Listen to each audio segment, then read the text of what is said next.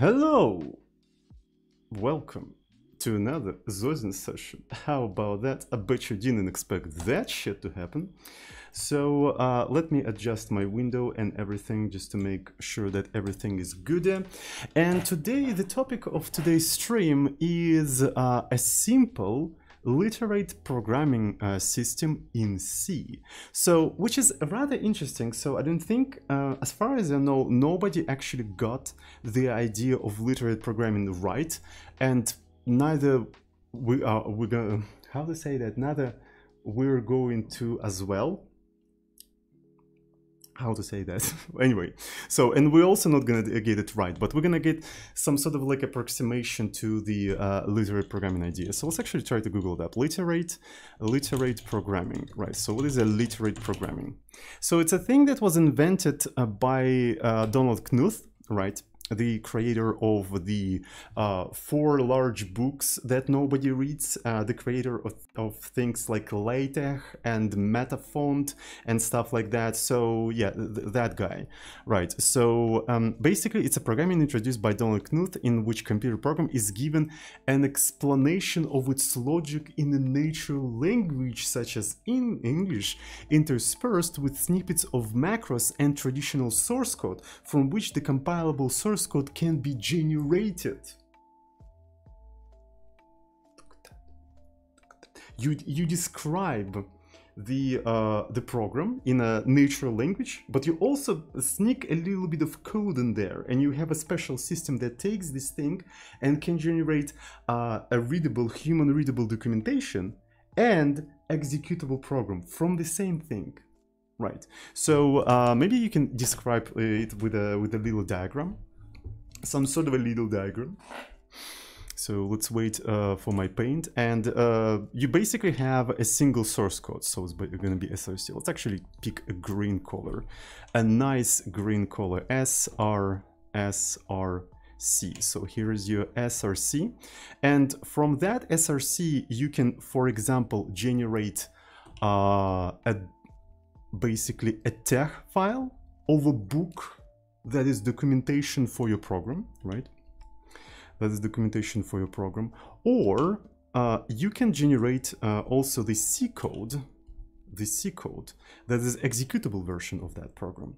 So it wording it this way actually makes it sound like, you know, like a Javadoc system. Do you guys are you guys familiar with the Javadoc? Right. So um, essentially. Uh, it's a, I think Java introduced this system first, where you can annotate methods and stuff like that, and then uh, generate documentation from that methods. So I wonder um, if Javadoc is a tool that you can just call like that. Apparently it, it is not, so I probably have to do it like that. I do remember that I had uh, JVM somewhere. So here is the name, so JDK. So then I can go to here and do I have a thing that can generate stuff for me? So yeah, here's a Javadoc. So I can use this entire thing to, uh, to generate docs. So if I go there, uh, for example, I'm going to do something like probe, uh, Javadoc probe, uh, right? So, and if I go in here, right? So main, not mean main.java, right? So let's program in Java a little bit. Do you guys like Java? Uh, Java is actually awesome language, my favorite language of all time. Oh. So can you even see what the fuck is going on? I think this this one is actually not really readable. Uh, right, so let's actually open that in Emacs. Mm, now that's what I call a readable code. And then public static uh, static void main, then we have arguments, so this is gonna be that, and then system out println, then uh, hello world, right? So, and then I can compile the entire thing um, into a class, right? So I don't even have a Java, a javac. So the thing I probably need to do, I probably need to enter some sort of like an environment for Java. I do remember that I had something like that. Uh, so if I take a look at OPT, uh, yes, so here is the Java environment, and I can quite easily just do something like this. And if I do which Java, so I have the latest JDK. So I can turn this entire thing into a Java class, right? So it will take some time, but we'll turn it into a Java class. There we go. So here is the Java class. You can see it's bigger than the original source code, but I mean, that's fine. That's usually the case. Uh, and then if I run it, it says hello world. Right, so then you can run uh, Javadoc on this entire thing. I think this is how you use it. I don't remember uh, like how to use it properly, but I'm gonna try to do that. So it's loading the source and it generated the doc documentation and it generates a shit ton of HTML files, like holy fucking shit. That's a lot of HTML files. So then you can open this entire thing. Uh, does it generate index? Uh, I think it also generates an index and there you go, you have documentation for your program. So here is your main class and here is your main method and so on and so forth. And furthermore, if I remember correctly, you can now put shit in here. Right, so uh, the entry point to the program, right, something like that, and then you can close it in here. And then you can have things like param, right, uh, args, and say something like arguments, arguments to the program, right? So, and you can have like these, um, you know, small uh, comments, right? these kind of small comments, and can we regenerate JavaDoc from that? So it will construct JavaDoc and everything. And let's take a look at what we've got. And uh, if I go into the main method, into the main method, uh, here it is. Here is the documentation, the entry point for the program. Here is the parameters, args, arguments to the program, and so on and so forth. And you can write, I think there you can use a markdown language in here. Rust has a similar system. Like a lot of modern languages have a similar systems these days. And the first time I saw this system, I think it was in Java. I don't know who introduced this system. Maybe it was the, the Sun Microsystem who invented that, but maybe not. I don't know.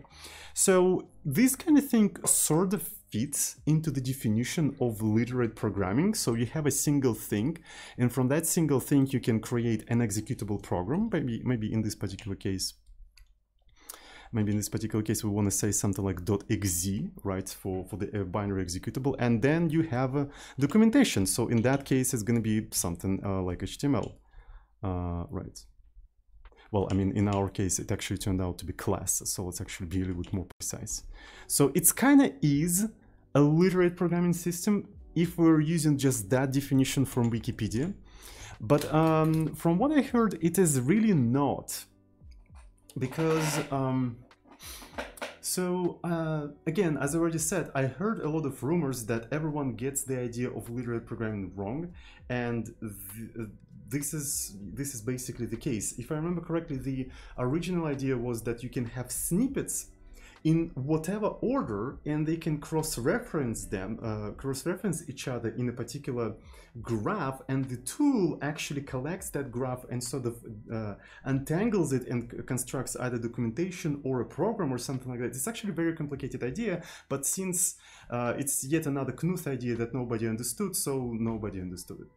Um, all right, so maybe uh, we could read about that. Maybe there's some diagrams that indicate. So, by the way, this system uh, that uh, uses like um, that first implemented um, literate programming was called Web, right?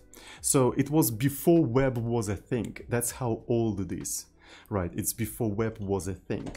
Uh, that's why it was called like that. Um, so it's probably to actually sort of indicate that it's a semantic web or so of something or whatever. So I, I, don't really know what's up with that. So um, so there's a, documentation or, or workflow. Uh, oh yeah, so yeah, it's kind of interesting. So implementing literate programming consists of two steps. Uh, weaving, generating a comprehensive document about the program and its maintenance. Tangling, generating machine uh, executable code. Uh, weaving and tangling are done on the same source so they, uh, that they are consistent uh, with each other. Right, so, and that's why it's called web, because you're weaving and tangling or something like that. Some sort of a pan, a pun, I mean. Um, Oh yeah, this is how it's supposed to look like apparently. So you have uh, some sort of human readable code, then you have chunks of executable code, uh, and there's some sort of macros in here, I suppose, scanline, field buffer, something, something, something, and uh, your actual program and documentation is supposed to be, um, you know, built from that. In any case, uh, what I'm going to be doing I'm not going to be implementing this literate programming, right? So I'm going to put the uh, link to the literate programming uh, in the description. So here is, here it is, Wikipedia uh, uh article on literate programming. So I'm going to implement the idea um, from Haskell's literate programming. So Haskell has um, basically uh, a take on literate programming. Uh, literate programming. So let's take a look at it. So, and it's very simple. Um, it is extremely, extremely simple. So you write uh, so-called LHS styles, uh, LHS files, files. Oh my God uh, LHS files which look like a LaTeX document. So let's actually take a look at them. So uh, I'm gonna go to prob uh, and I'm gonna do LHS uh, and in here I can create an LHS file. Mm -hmm. So, and in here you can start uh, creating a document, right? So this is going to be uh, a document, uh, right? So I think it's something like an article, right? Um, how do you start the document? Does anyone remember? I haven't used the LaTeX for quite some time. Do you do begin document? Is that is that how we do that? Um, okay, so nobody's gonna help me. Uh, document. Okay, so thank you. All right. So begin document, and then you can put your stuff in there. Uh, all right. So hello uh, world. All right, and then you can run PDF LaTeX uh, main LHS right so and it didn't really work because there's no such thing in there okay so uh it is it is it an article i think it's a document class if i remember correctly or something like that. Okay i need to google that later. Um uh, document class okay. Uh, so let's try to recompile this entire thing. And there we go we have a pdf document. Uh, we have a pdf document there we go. So we have article and hello world. So what's up with this entire thing? Well, if you write something like begin code and end code, you can stick a Haskell code in here. All right. So, and um, um, obviously if you try to compile this entire thing with LaTeX, it's not going to uh, work because you don't have the code environment yet. So I think you have to create the code environment first to actually be able to use it.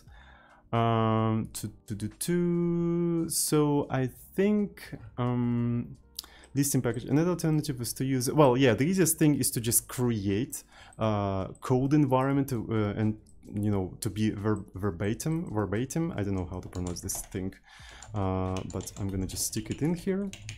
Right, so I think I have to put it in here. And that way, uh, it is going to compile, hopefully.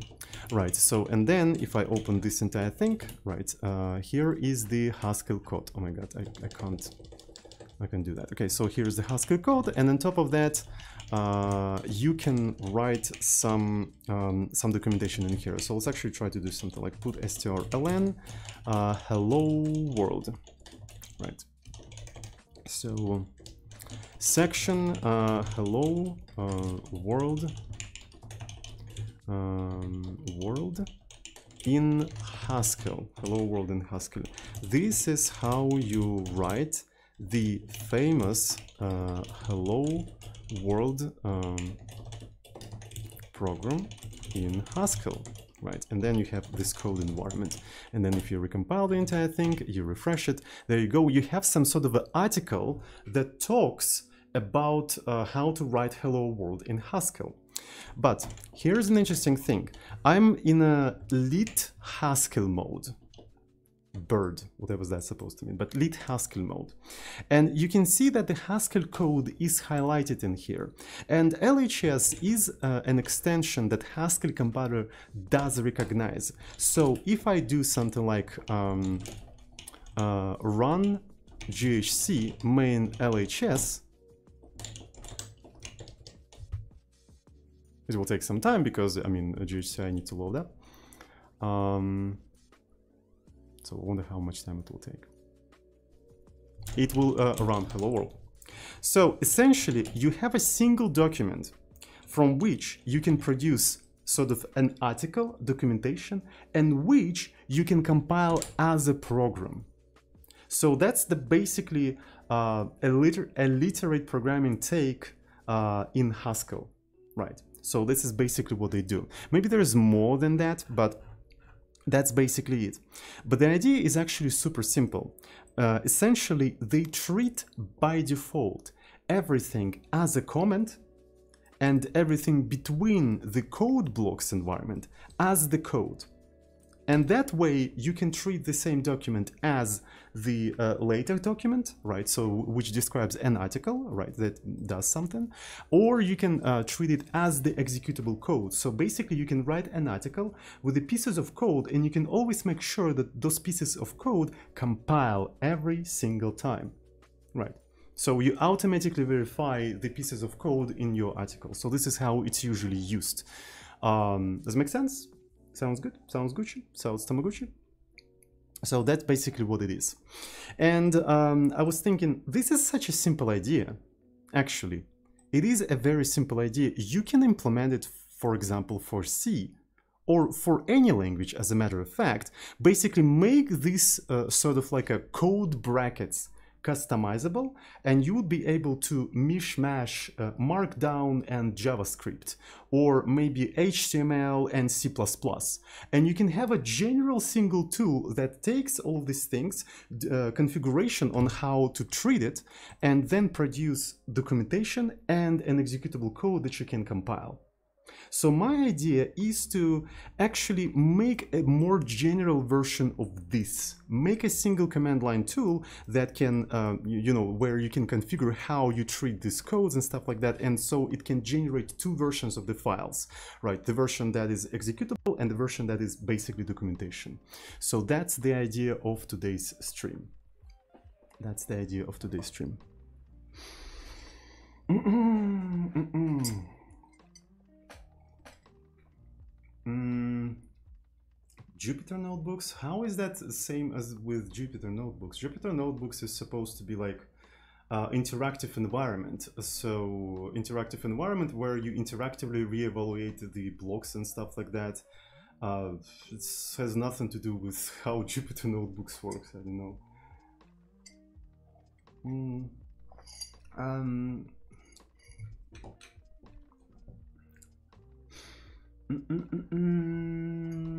So, all right. Okay. So there's no questions, I suppose.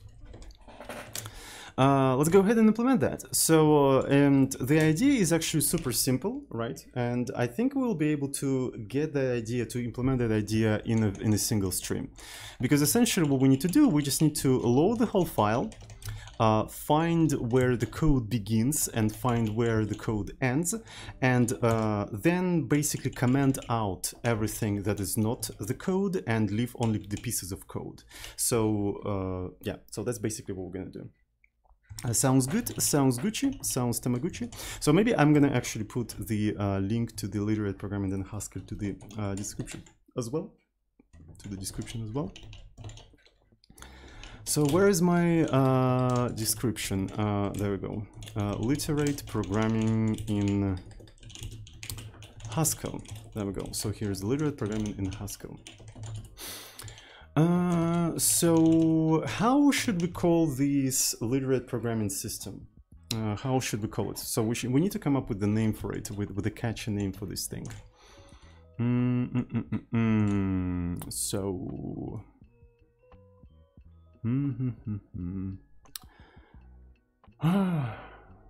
I don't know, I have, don't have a name for it, so maybe something like literate programming in C, but I mean, it's, it, it's not going to be actually specific to C, that's the point. Right, so I put it in C for clickbait, right, because people, you know, uh, have a very controversial opinion on C and they always want a, per person program in C just to see, like, you know, um, it feels like to me that people join the C streams for like for the same reason people go to the zoo, right? They think that nobody programs in C, and if you put C, they will just watch. Oh wow, look, a person programs in C in 2021. Holy fucking shit! So that's the the only reason why I put C in there. But it has nothing to do with C per se, right? So because uh, it's going to be written in C, but it will work with any language. That's kind of the point, right? So that, that's kind of the point. Um, so um, yeah, so we need to think about that. Um, mm, mm, mm, mm, mm. so maybe we're gonna just call it lead then, uh, right? Mm, so, and let me go ahead and just create this entire thing. Mm -hmm. So the first thing we probably want to do, right, the first thing we want to do, we want to read the file into the memory and then iterate the file line by line. You know, as a matter of fact, I think I'm going to take my uh, main LHS file. Did I already remove it? Uh, I hope I didn't remove it. So if I go to something like prob, uh, and what was that? I think it was LHS, here it is. So I'm gonna use this specific file as basically the test subject, right? So we're gonna try to produce um, both a LaTeX document from it and a Haskell document from it.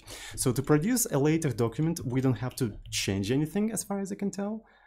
Well, maybe that's the that's the point uh, here. You don't have to change anything, but produce to produce a Haskell document, you'd have to uh, basically comment everything out like this. Right, you have to comment it out like this, and then comment it out like this, and there we go. Uh, you've got the Haskell document. That's exactly why I want to implement this idea because it's so simple. Right, so then you uh, look at the Haskell mode, and there you go. You can just compile this entire thing. You just basically need to remove uh, all of these things in there. Um, all of these things. All right, so let's go ahead and do that. Uh, so um, how are we going to accept the uh, command line argument? I think we're going to check argc uh, greater than if it's less than 2, right, that means you didn't provide the input file. So we're going to do something like sc error, error, um, um, no input file uh, is provided, right? No input file is provided. So, and on top of that, maybe we want to print the usage. Um, the usage is going to be printed to the standard error. Uh, usage file uh, stream, right? So uh, fprintf uh, stream uh, usage lit and uh, this one is going to be just input right, so we don't have any options right now, so but we're gonna add them a little bit later. So and after that, we're gonna just exit with this entire thing. So uh, let me also create maybe some sort of like a make file, right? So and uh, this is what we're gonna have in here. So this is gonna be cc c flags. Uh, maybe I should use nobuild for this one. Maybe maybe I should use nobuild. Let's actually use nobuild. Why not? Uh, if we're using everything homemade, so we might as well use nobuild.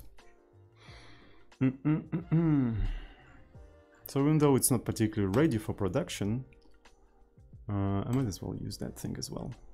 Mm. Uh, all right. No build.c. Let's include this entire thing. Right and define nobuild implementation and uh, create an entry point. And let's just call um, cc so we're gonna have some flags of course. The uh, output is gonna be just lit.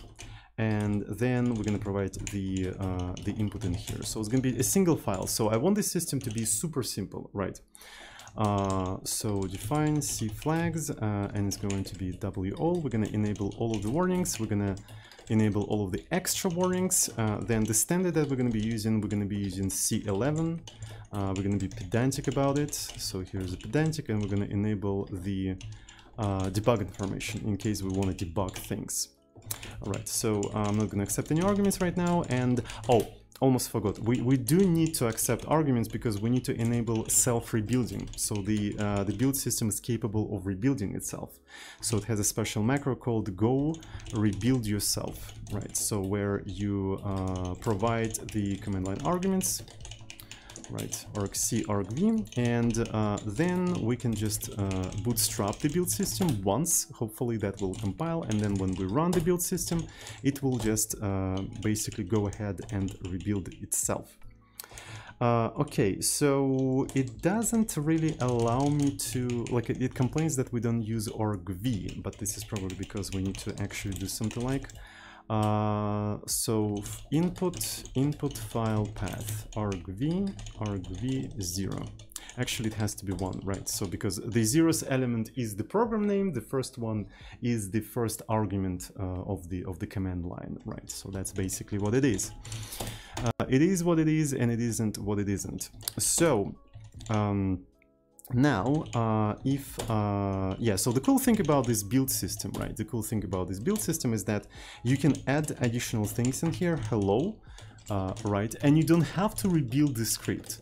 Because look, look, look, look, look. The script will automatically detect that you modified it, it will rebuild itself and it will rerun itself and then it will run the new version of that script. It's not really script, it's a program, but then you can remove it and it detects that it was modified, it rebuilds itself and so on and so forth. So uh, you don't have to, uh, you know, constantly rebuild when you modify these things, which makes it super convenient actually.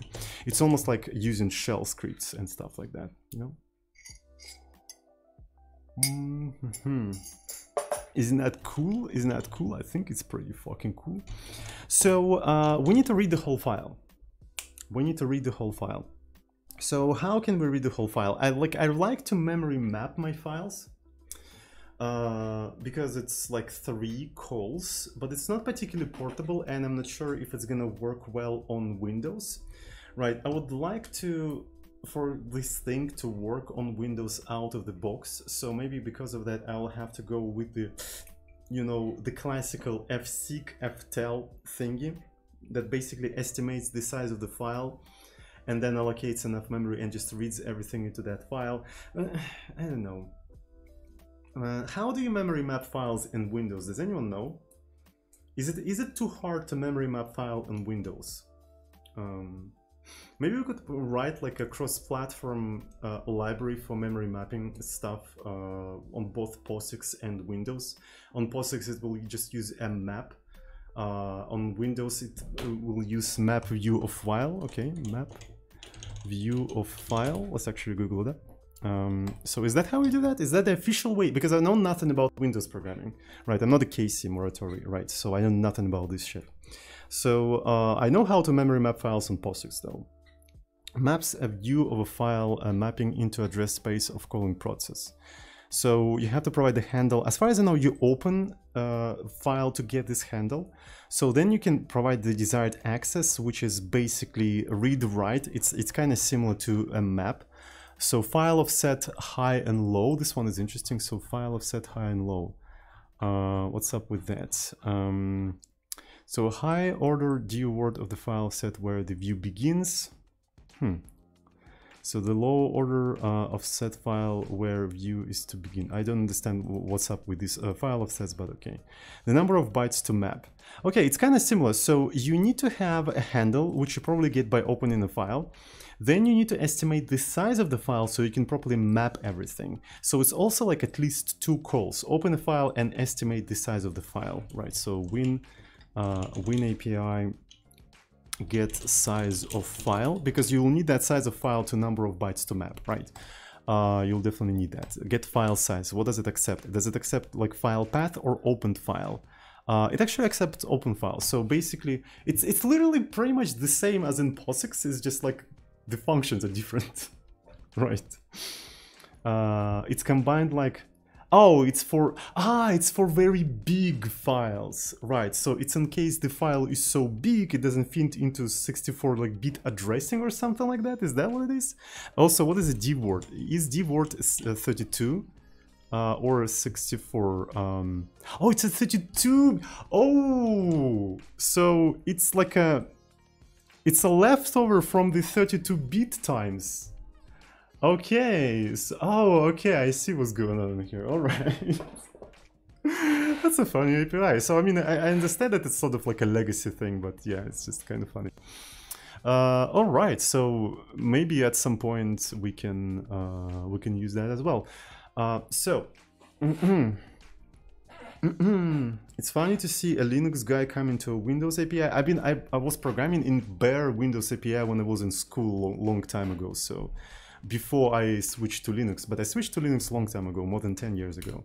So, but I am kind of familiar with uh, Windows API. I, I, tried a lot of different things actually uh, throughout my career. Um, so, anyways, so let's actually go ahead and uh, memory map the file, and then we'll see if we can abstract the process of memory mapping the file into some sort of API, which will make it easier then later to implement like a Windows backend for that API. Because memory, like reading files through memory mapping in this particular situation is going to be very, very useful. Uh, Mm, what kind of things did you try with WinAPI? When I tried to do that, I didn't know much uh, about programming at all. So I think things I did were creating windows, putting some buttons on windows, like making stuff with those buttons. I think the best, the coolest thing I did is I initialized uh, OpenGL using only WinAPI. I think it's called VGL, WGL, I mean. Yeah, yeah, so I worked directly with WGL. Um, maybe. Uh, I don't remember. I don't remember how it's called. I think this is kind. Of, this is kind of stuff. Yeah, yeah. So I was calling to these functions to try to initialize that. Yeah, I do remember this kind of thing. Yeah, yeah, yeah. So it was a long time ago. Holy shit! It was almost like a different life. My god. Mm -hmm. but again, it, it was a long time ago, so I forgot a lot of things. Uh, so, all right, um, let's uh, open the file, I suppose. Uh, the first thing we want to do, we're going to open the file. So this is going to be open, and uh, we'll need to include these things. Uh, yep, yep, yep. So this already doesn't work on Windows. You just add these three lines, and there you go. Windows support goes out of the window. Haha! uh, so I call open input uh, file path and we're going to be uh, calling it uh, with o or din or donly yeah there we go. So when this thing will return a file descriptor for us right? It returns a file descriptor if the file descriptor is negative uh, we do not allow negativity on this positive vibe stream so we're to throw an error about that. Uh, we're to report it to twitch. Okay uh, could not open file as because of as. All right, so input file path and then I can do something like str error, error no, and then exit one. There we go. So we successfully opened a file. So the next thing I, I like to do, I like to grab the um, size of the file. I think you have to do uh, fstat, right? So it's going to be something like this. Mm, there we go. Um, so we provide the uh, file descriptor. Then we need to allocate this structure on the stack, stat buff, maybe even zero initialize it just in case, why not? Uh, struct and then I'm gonna uh, be taking a pointer to that and if this entire thing returns uh, a negative value we yet again throw in an error so fprintf std error error could not um, determine the size of uh, file s because of s and uh, it's going to be all uh, input file path uh, str error error no there we go and we exit with this cloud uh, with this cloud so after we determine the size of the file, as far as I know, the size will be located in st size. So let's actually save it into a variable called content size, right? And there we go, we have a content size. So once we have an open file and we have the size of the file, we are ready to perform the mapping. So we're going to be calling to memory map. Uh, so I'm going to be including these things. Uh, I think I also need to include um, UniSTD, UniSTD, Universal uh, STD. Universally Sexually Transmitted Diseases, that's what it stands for, of course. So uh, for the address, we can provide null, which means that we don't care where exactly the operating system is going to place the file. I literally don't give a shit. Uh, the length is how much we want to map, and we want to map content uh, size in this case. So protection, as far as I know, we only care about reading, right? We don't need writing, we don't need anything else, so I can say prot read and nothing else. Flags, if I remember correctly, in our case we need map private. So we're gonna create uh, private copy on write mapping. Updates to the mapping are not visible to other processes mapping the same file and so on and so forth. We just want to read the contents of the file and nothing else. So maybe I'm gonna say something like map uh, private and then we provide the file descriptor uh, and then we provide the offset and in that case offset is going to be zero we don't care so after that uh, we get the content data right in our case it would be um, you know, it would be reasonable to reinterpret this data to character right away, right? Because we only care about the character data, right? And if this entire thing returns uh, a null, right?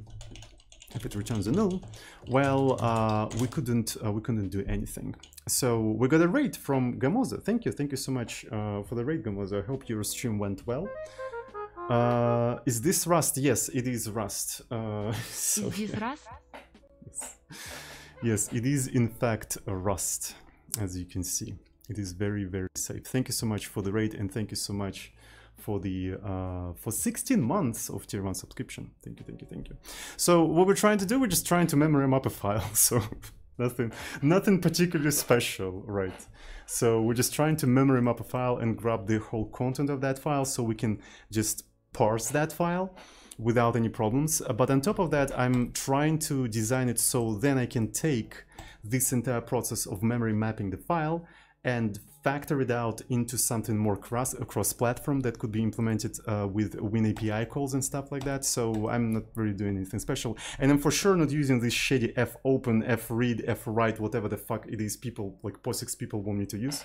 Uh, so I'm definitely not using that. So I'd rather just like, you know, ask operating system for for a proper API to read files. Um, so yeah. Uh, are you memory out just for memory efficiency? I, it's just more convenient to work it that way, in my opinion. right, it's just like, it's it's three function calls and you got the whole file. So uh, that's it. So it's just, it's just that simple. You don't have to organize loops or anything like that or something. Just, yeah, memory map that shit and just give me the ah content. So that's that's why I'm doing that. It's 2021. Can we just like have a function that just uh, where I can say give me the file and just fucking gives me the file? I don't know. I won't have that. So anyway, um, here's the content. If this entire thing fails, right, uh, could not uh, memory map uh, file s because of s. Okay, so and um, yeah, the file is going to be input file path, and the reason is str error error no or something like that. There we go. So it's going to be exit one. Uh, there we go, there we go. So we've got that shit going for us, which is cool. Um, so now we can try to print the content of this thing. So can I just use F write to quickly print it, I suppose? I think that's the easiest way to do that. Just to test things out. Content data, content content size. Um, so to be fair, yeah, so the content size is going to be the size of a single element. That means here I have to provide one. And I'm going to be printing that to std out. There we go. So std out. And I don't really care about the return of this function because I call this function just to test things out. Nothing particularly special. So let's try to rebuild the entire thing. There we go.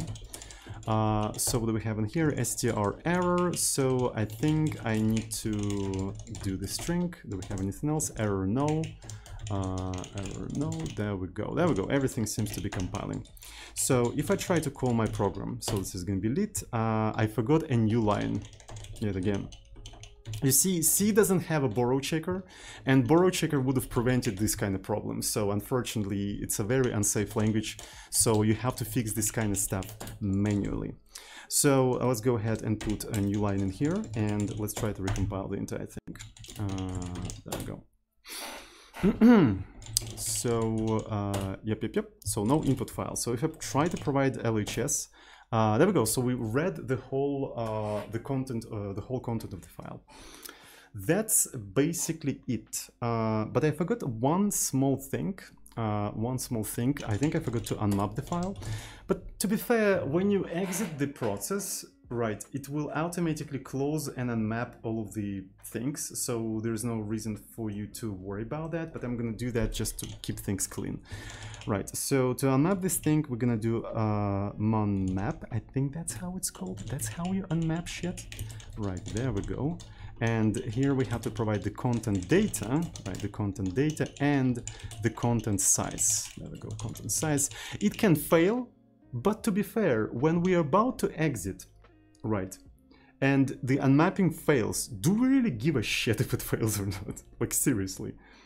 Who gives a shit if it failed? We're about to fucking die.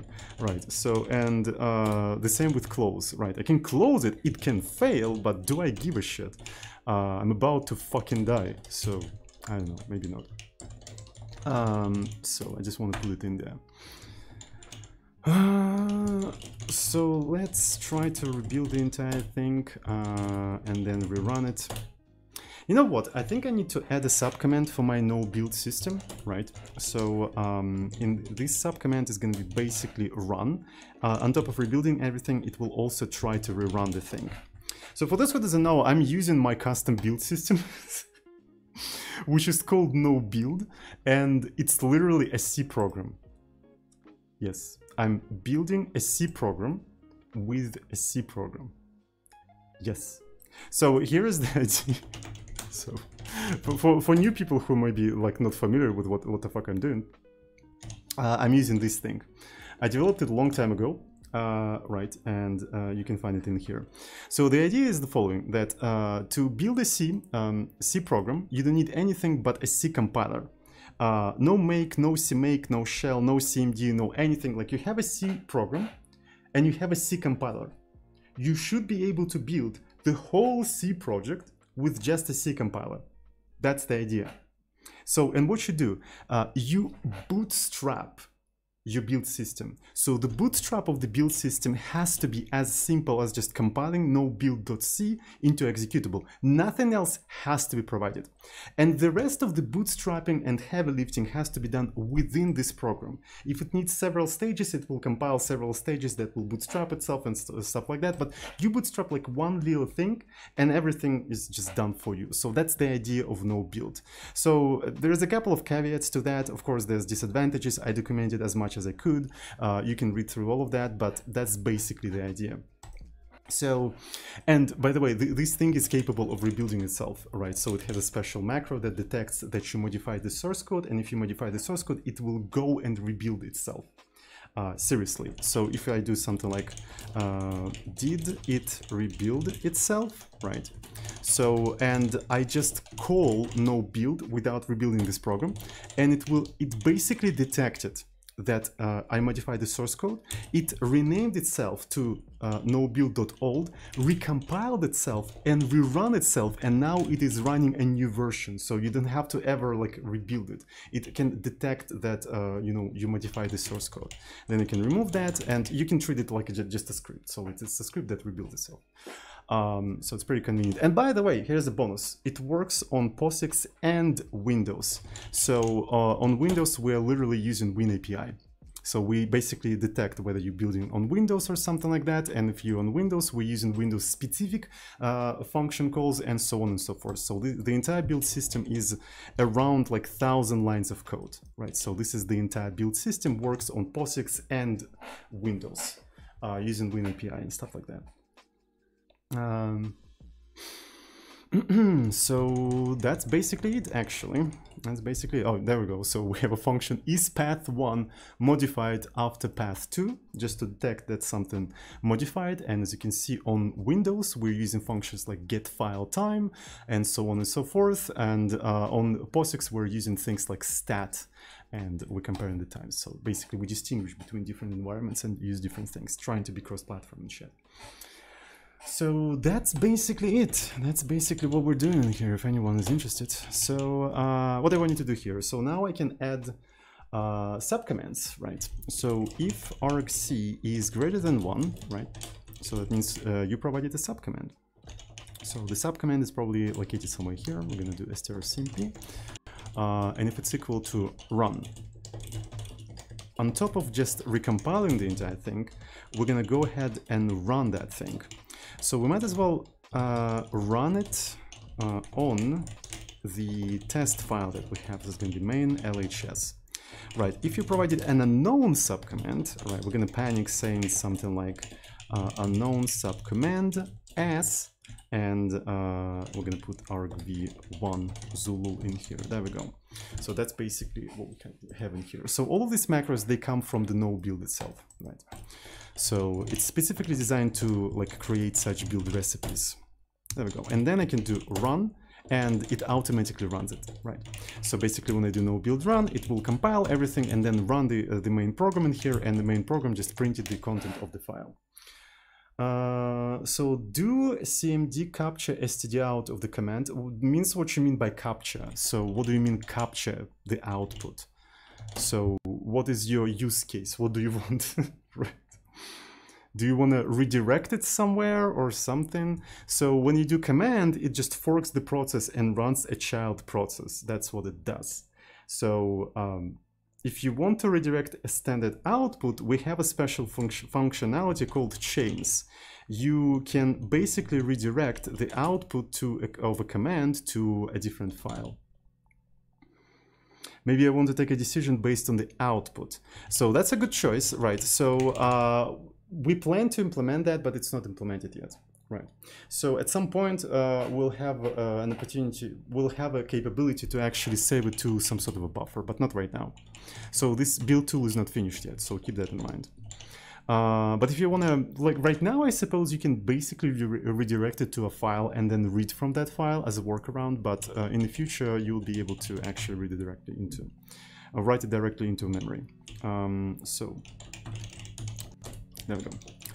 Uh, all right, so what I was doing, um, yeah, on top of that, I wanted to extract this entire thing to a more, uh, how to say that, more cross-platform interface, all right, so then we can implement it also for Windows. So, you know what I'd like to do? I would like to introduce like a structure, some sort of structure called mapped file, right, and the mapped file is going to contain basically yeah, I think it will contain the opened file descriptor, the, uh, the content size, and the content data, right? So uh, first, the most important thing is going to be the content data. I'm maybe going to actually point it as a pointer to void because you never know what's what's in there, right? So let's not make any assumptions on what's what's the content of the file. And uh, then we're going to have a content size. So, and then we're going to have a platform dependent part of the structure, right? So for, for instance, on POSIX, it's going to be that, right? So, and if you are on Windows, Windows, not Windows, um, it's going to be something like handle, I suppose, right? So, yeah. So open handle. Uh, right. So something like this. Uh, but again, we're not implementing it right now, so I'm just like, you know, um, making you know, theorizing how it's going to look like. For now, it's going to be just uh, like this FD. Uh, so the next thing I want to have, I want to have a function that basically maps the file, right? So you would provide uh, path to the file, so file path. And um, so it could return mapped file, but I think it would be better if it would accept the mapped file structure as a pointer, right? So it's going to be mf. So, and then it is going to return, I suppose, boolean, indicating uh, whether there was an error or whether there was no error, right? And uh, we're going to implement this thing in here. So, and another th uh, thing we're going to have in here is a function that unmaps the file. Uh, it accepts a mapped file and basically unmaps the file. Mm -mm -mm. mm all right. What's different between implementation of detecting file changes? We don't have a detecting file changes and using something like uh, notify is needed when uh, you want to detect changes in real time. But uh, what if you want to detect changes between executions of the program? So the question implies that you don't know what is iNotify, and that means I have to explain you what is iNotify now. Ah, okay, so iNotify basically gives you a stream of events, right? Uh, when you start using iNotify, you basically tell the system, okay, here's the file, observe what are the events on that file? And also listen for these specific events like modified something modified something. And you constantly get the stream of events right? You constantly get the stream of events and you keep getting the stream of events as long as your program is running right? Once your program is not running you don't receive these events. iNotify is using is used for real-time file modification detections when your program is running now look, uh, when I run my build tool, it runs and then it exits. That's it. So we can't receive the stream of events from iNotify, right?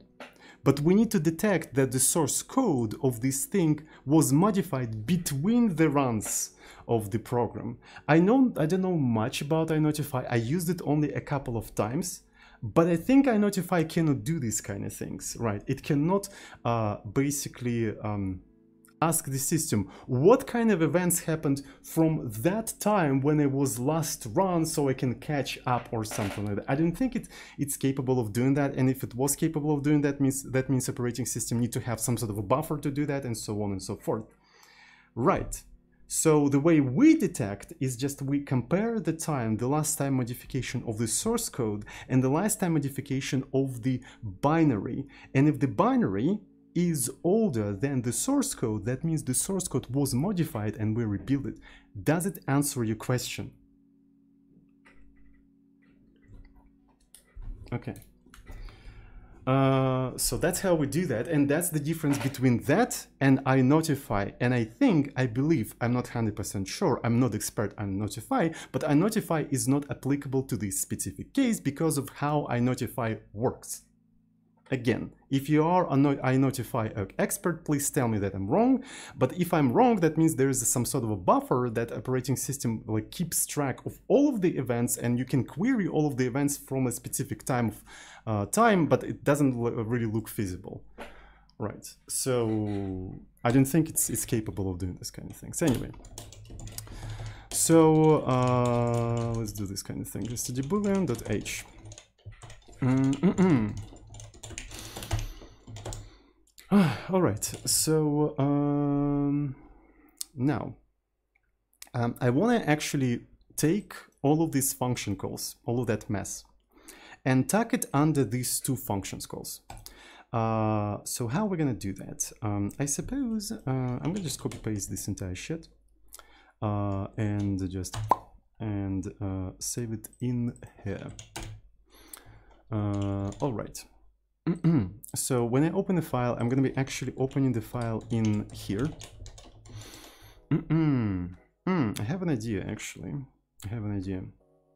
So what if your file is already mapped and you're trying to call this function the second time? Right, so you have mapped file, you allocate the structure on the stack, then you say map a file, mf, and uh, something like input.txt and if it didn't uh, map you basically uh, panic or something if it mapped everything's okay but what if you try to do it the second time right so what should we do in this particular case? We probably need to detect that you already mapped the file and not map it, or we can basically first try to unmap the file, right? Uh, unmap the file. So, and here is the function. So we're trying to unmap the file. Uh, and um, now we know that it's not mapped and we can remap it again. Here's the interesting thing. Uh, how do we know that a uh, file was unmapped or mapped? Well, uh, we can check if the content data is not equal to null, that means that means the file is mapped to something and we want to close the file descriptor we want to close the file descriptor and we want to unmap, actually we want to first unmap that content and uh, with this data uh, like this and then close the file descriptor. And after that, uh, we want to maybe zero initialize everything. So it's going to be mem set mf, uh, zero size of uh, mf. There we go. So this entire thing, basically, if something is mapped, it will unmap it and zero initialize everything. And the first thing we do when you try to map the file twice, well, we unmap it, that will automatically zero initialize everything for you. And then we try to remap it again. I think it makes sense. All right, so in this particular case, maybe uh, we can simply, yeah, we can simply return something. Um, hmm. I'm thinking, what if... Can, do we really need to check for this kind of shit? What if I unmap null? Is that something bad? Uh, if I try to unmap null or close, if you try to close zero, it's probably definitely bad. so, mm -mm, mm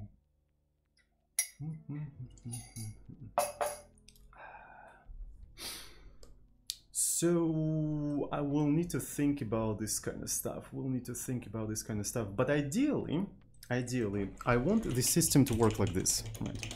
Uh, I want to do something like map uh, mapped file, right? So it's going to be a map, i0 initialize. If uh, I couldn't map this specific file, which is basically input file path, uh, I will say fprintf std error error could not uh, read file s because of that reason. So then I can uh, say input file path str error error no there we go and then I can exit with one. There we go. So then um, I can take the contents provided in here, I can print it, um, and then I can unmap the file. So it's to be unmap file uh, pointer to mf and it will zero initialize everything. So, and then uh, we could try to implement this interface for both um, Windows and Linux or something like that. Mm -mm. So yeah, I need to think about how to do that a little bit better. So, but I think I want to make another uh, break and then a cup of tea right? So once I have a cup of tea, maybe I'll have more, uh, you know, motivation to, to think about this problem. So let's go ahead and make a small break. Right, so here's the problem. Um, I'm trying to follow zero initialization rule, meaning that uh, if I have a structure and I zero initialize the whole structure, uh, I want this to be a valid structure. And if I zero initialize a map file, what I would uh, what I would expect it to be? I would expect it to be an empty unmapped file. So an empty un unmapped file means that this is a null pointer, this is zero, and here's the thing. The file descriptor could be zero. So zero NFD does not indicate that uh, the file is not present. Right, but I still want to follow zero initialization rule because it makes it uh, makes initialization of like several of such things super easy. I can just mem set like an array of mapped files to zero, and uh, that will correctly initialize them. So um, and messing with like minus one and stuff like that is extremely annoying. So I think I'm gonna introduce additional field, uh, which is gonna be boolean mapped, and this is the uh, flag that is going to indicate whether the entire file is mapped or not. Um, but we, we can also have a weird situation where, uh, that... Mm, oh, this one is very annoying. This one is extremely annoying because I had...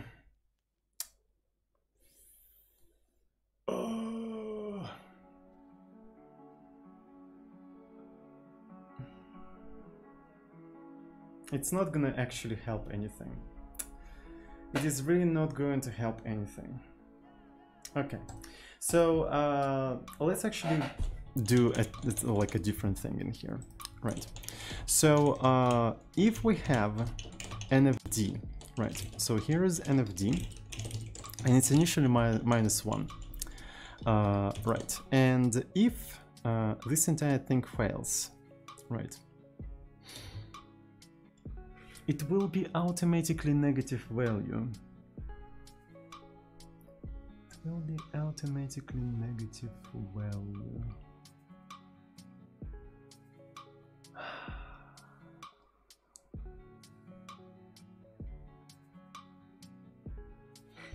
Mm-hmm.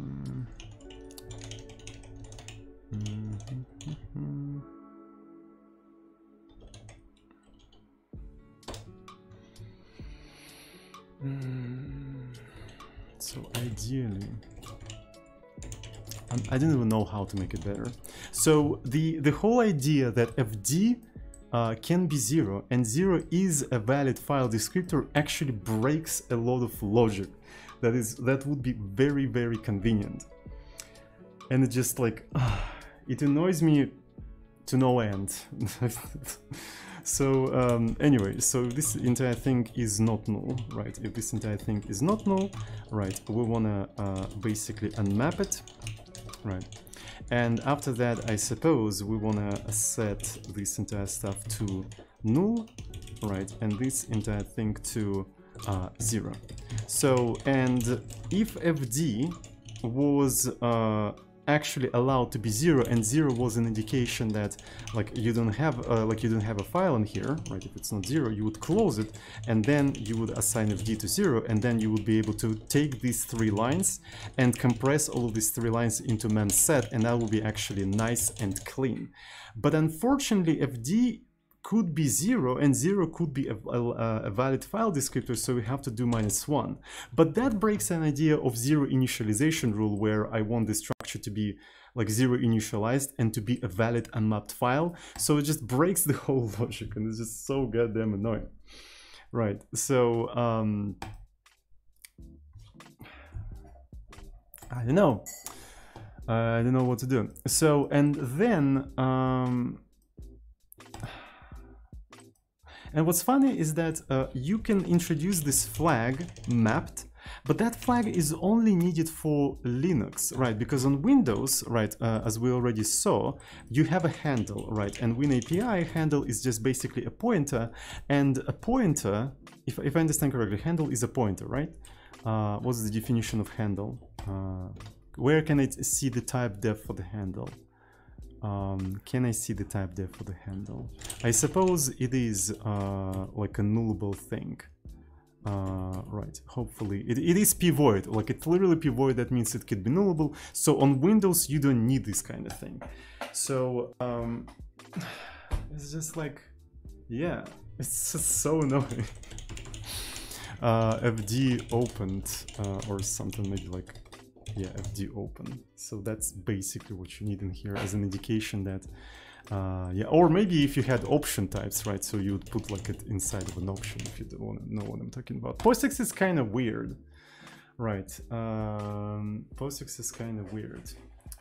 Invalid handle might be minus one uh, invalid handle but why is it a pointer then?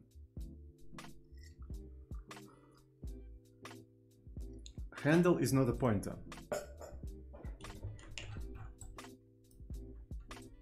Well, well, I know nothing about WinAPI, so maybe you're right. But uh, I'm looking at what uh, MSDN, Microsoft.com mm.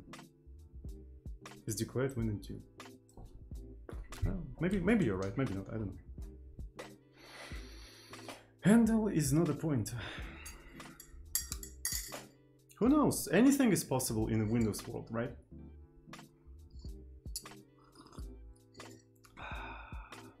It is a pointer. Oh, okay. but but but the confidence, confidence, that's what's important in the internet discussion.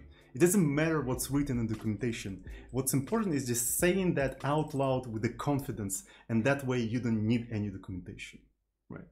So it is not a pointer, right? You have to say that confidently. Mm. It declared as a point, but that doesn't point. Oh, okay, so basically it's a value wrapped into void star. Um, it's actually quite common uh, in old code, I suppose. Anyway, so we can have something like this in here, right? Um, just a second. Hmm.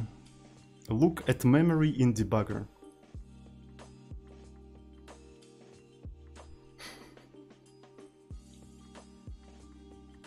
just give me a second, I'm gonna start up Visual Studio. Just, just a second. Okay, um, so I want to cry. I literally want to cry when I read the chat. It's just like maybe I should not just read the chat. Like yeah, sure. Just just give me a second. I'm gonna look in the debugger. Yeah, thank you. Uh, okay, so let's introduce this flag, and it's gonna be like a platform-dependent thing, right? Um, so essentially. Mm, um, you have that and then we unmap the entire thing and then this is fd open uh, if thing is fd open we close the fd and that's it. And then i can do memset mf zero size of uh, mf. So there we go. So after that um, right i unmap the file uh, mf right? And then what we do?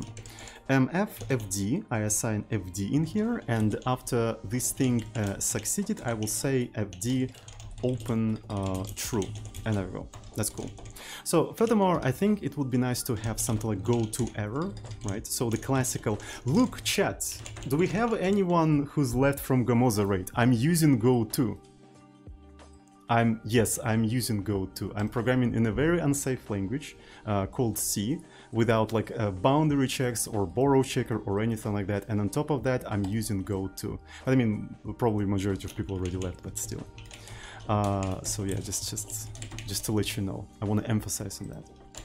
Um, okay, so what do we have in here? If this thing is failed, so here's go to error.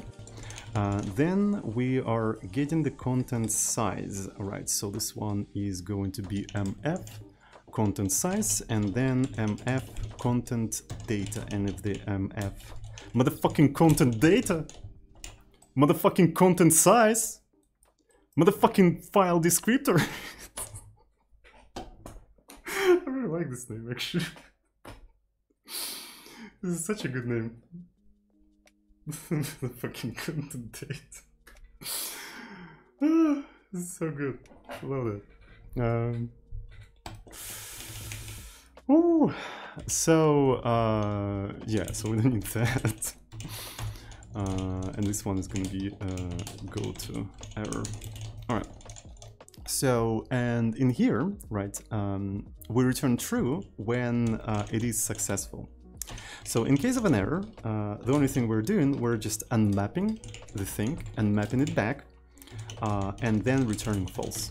So you see the idea here, it's basically defer. Right, I'm doing a defer.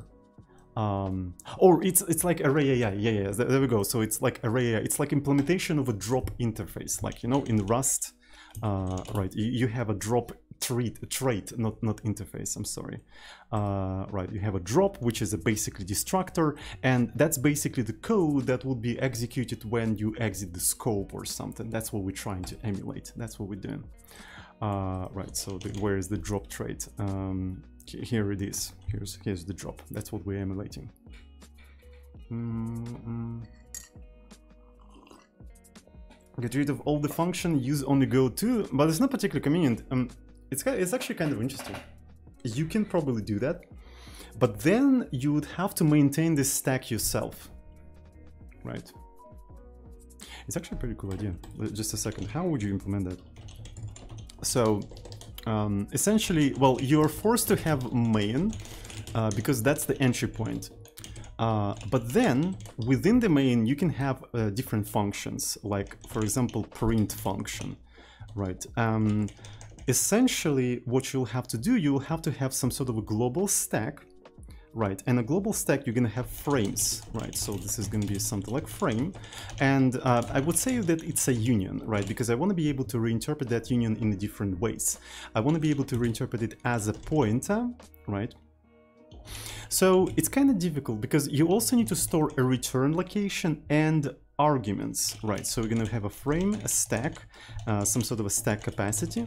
Uh, and is it even possible to so does label have any type in C?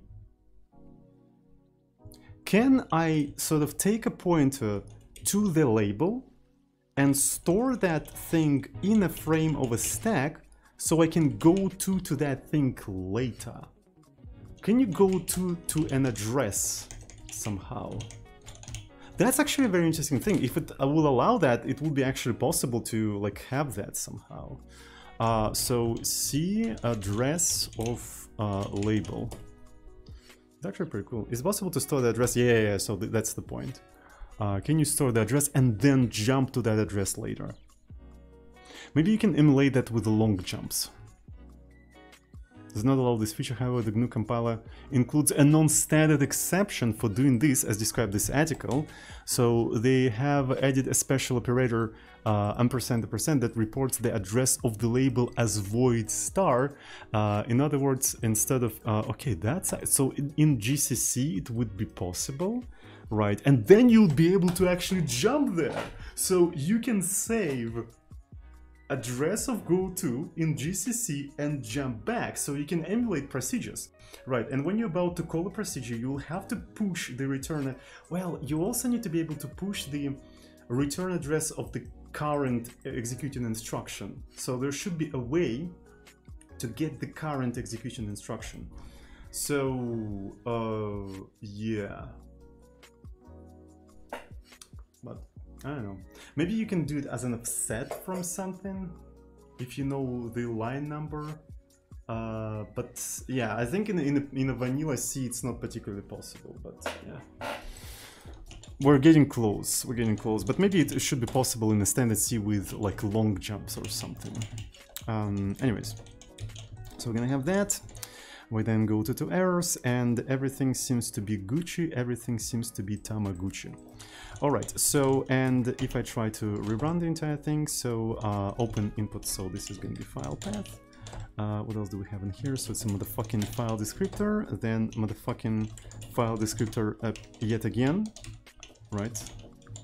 Uh, and then motherfucking content size, and then motherfucking file descriptor, and that is basically it. There we go. So I think we did everything. So we have a sort of like a cross-platform way of, um, you know, of doing all that.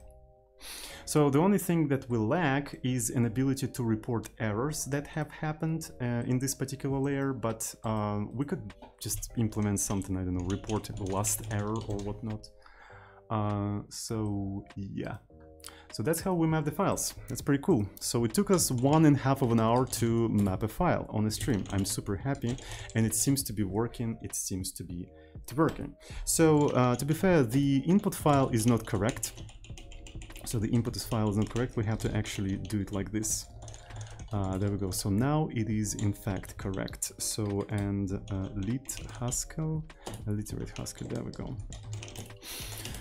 Uh, okay, so the next thing we need to do with this uh, file, we need to iterate it uh, line by line. All right, to do that, uh, we are going to use this string uh, string view library. Right, I'm going to be using string view library that you can find in here if you're interested, and I'm going to also put that in the description uh, for people who's watching me on YouTube. So string view library. There we go. And also we were also using no build build system, so and I think it would make sense to actually put this thing in the description as well. nobuild build system. There we go. So uh, let's go. Where is uh, SV? So let's go in here and let's grab the raw version of the string view. Right, so we're to do wget and uh, I'm going to include the string view in here. So as far as I know, uh, yeah, gotcha guys. Uh, it's a STB style library, that means I need to first include implementations, right? So it's gonna be SV implementations, and there we go. So the string uh, view library, it has a function SV from parts. So, and this function accepts the data and the count. Right, that's what it accepts. So, and it basically builds the string view from these two things. And we already have the data and the size, right? Uh, you can get them from the motherfucking content size and the content data. Uh, so it's gonna be content data and then uh, motherfucking content size. And there we go, we've got the content. Um, all right, so, and then we can iterate line by line. Uh, we implemented a mapped file API, uh, which stands for MF. So now it's MF content data, MF content size, and so on and so forth. Uh, so that's what we have in here. Content count. Uh, right, so let's also chop off a line. Right, so it's going to be sv chop by delimiter uh, the content and the delimiter in this case is going to be a new line right and we can try to print that line just to see if it actually you know works. So it's going to be svfmt uh, might as well wrap it in parentheses just a proof that we're actually handling that stuff properly. Svarg line there we go and let's try to run this entire thing and uh, yeah there we go. So as you can see we're handling everything properly. So that means we're actually splitting the content of the file by lines. That is perfect. That is absolutely perfect. Uh, another interesting thing. Now basically that is it believe it or not. So we need to introduce two modes uh, of um, of the system the mode when we are handling the comments and the mode when we're handling the code right? So um, we need to introduce some sort of like a boolean. Um, so comments maybe maybe basically doc right? So and we are initially in the I don't know maybe code mode. Let's call it code mode because by default it's not going to be in code mode. So and depending on the mode we're going to be um, handling lines differently. Right, if you are in a code mode, right, if you are in a code mode, uh, I think you simply uh, print the lines as they are, right, so you do svfmt, then svarg, and you just print that line, that is it, you don't have to do anything unless, unless you encounter um, end. So you are in the code mode, so you take each individual line and you treat it as the code and you just print it as it is. Then you encounter uh, end code, like, like this, uh, and that means you have to treat it as the comment and you have to switch to a different, uh, to a different mode. Mm -hmm. um, all right. Hmm. To be fair, maybe the mode switching has to happen like before you print anything. Yeah. So essentially, if you are in a code mode and mm -mm -mm and the line, so we might as well maybe even no, we don't, we don't have to do that. Maybe we do. Um, sv equal sv trim line and it has to be equal to code end. Right so this is the code end. So if something like this has happened you switch to uh, code mode false. You're not in a code mode anymore. If you're not in a code mode you're in a comment mode and the line uh, is equal to the begin right it is equal to the begin uh -huh. Uh, we're gonna be switching to the code mode like this. So this is gonna be true. Okay. Uh, then, depending on whether we are in a code mode, more. If we are in a code mode, we're just printing that line back. So svfmt, svfmt, we're just printing this entire thing back. Um, so and svarg um, so it's going to be line right. And if you're not in a code mode we'll have to uh, like prefix it with a comment right. So it's going to be sv fmt new line svarg believe it or not that is it. This is the entire core functionality of the program That's how simple the entire idea is. We spend more time coming up with like a mapped file API, but the core idea behind this literate programming in Haskell, like this thing, is just freaking this. So that's literally it. It's embarrassingly simple. It is freaking embarrassingly simple. Okay, so if I try to do run, uh, it does not compile. Let's actually go ahead and compile everything first. So it has to be SV like this, and this one also has to be SV.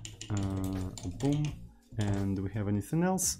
So it complains about something. Yeah, it has to be just printf, and there we go. So yeah, there we go.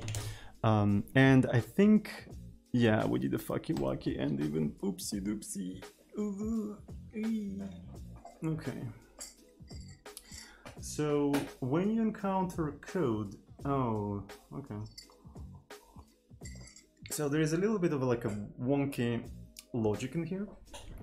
Um, so if you are not in a code mode, but you encounter the begin, you encounter the begin, you still uh, treat it as no code and you still need to comment it out, but uh, you need to switch to the code mode, right? So something like this.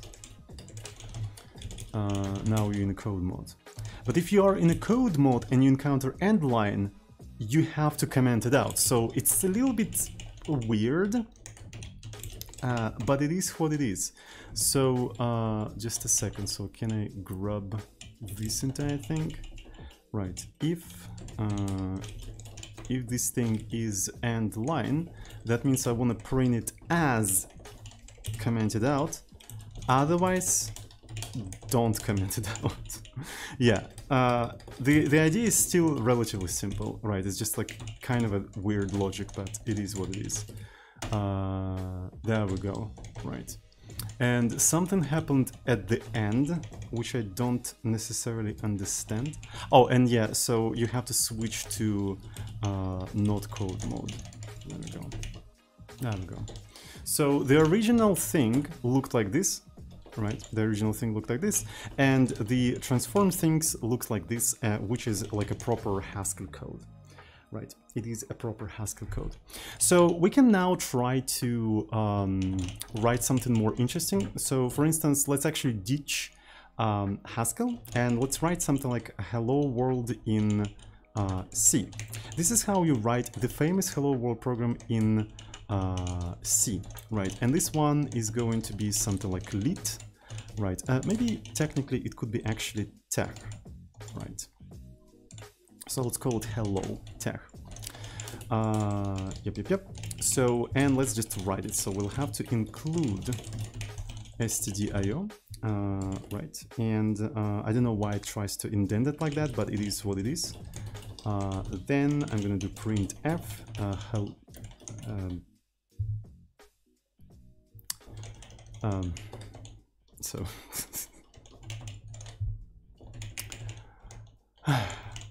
Uh, okay, so it took a little bit of time for Emacs to realize it's a verbatim uh, environment and it finally switched to, to this thing. So it's going to be hello world and then we have to return with zero. No indentation, no anything. So let's just remove this entire stuff, one, two, and this is one, two. There we go. So here is the code and uh, we're ready to do this kind of stuff. And I'm going to switch the comment style to uh, something else. Mm, something like maybe um, like this. Right.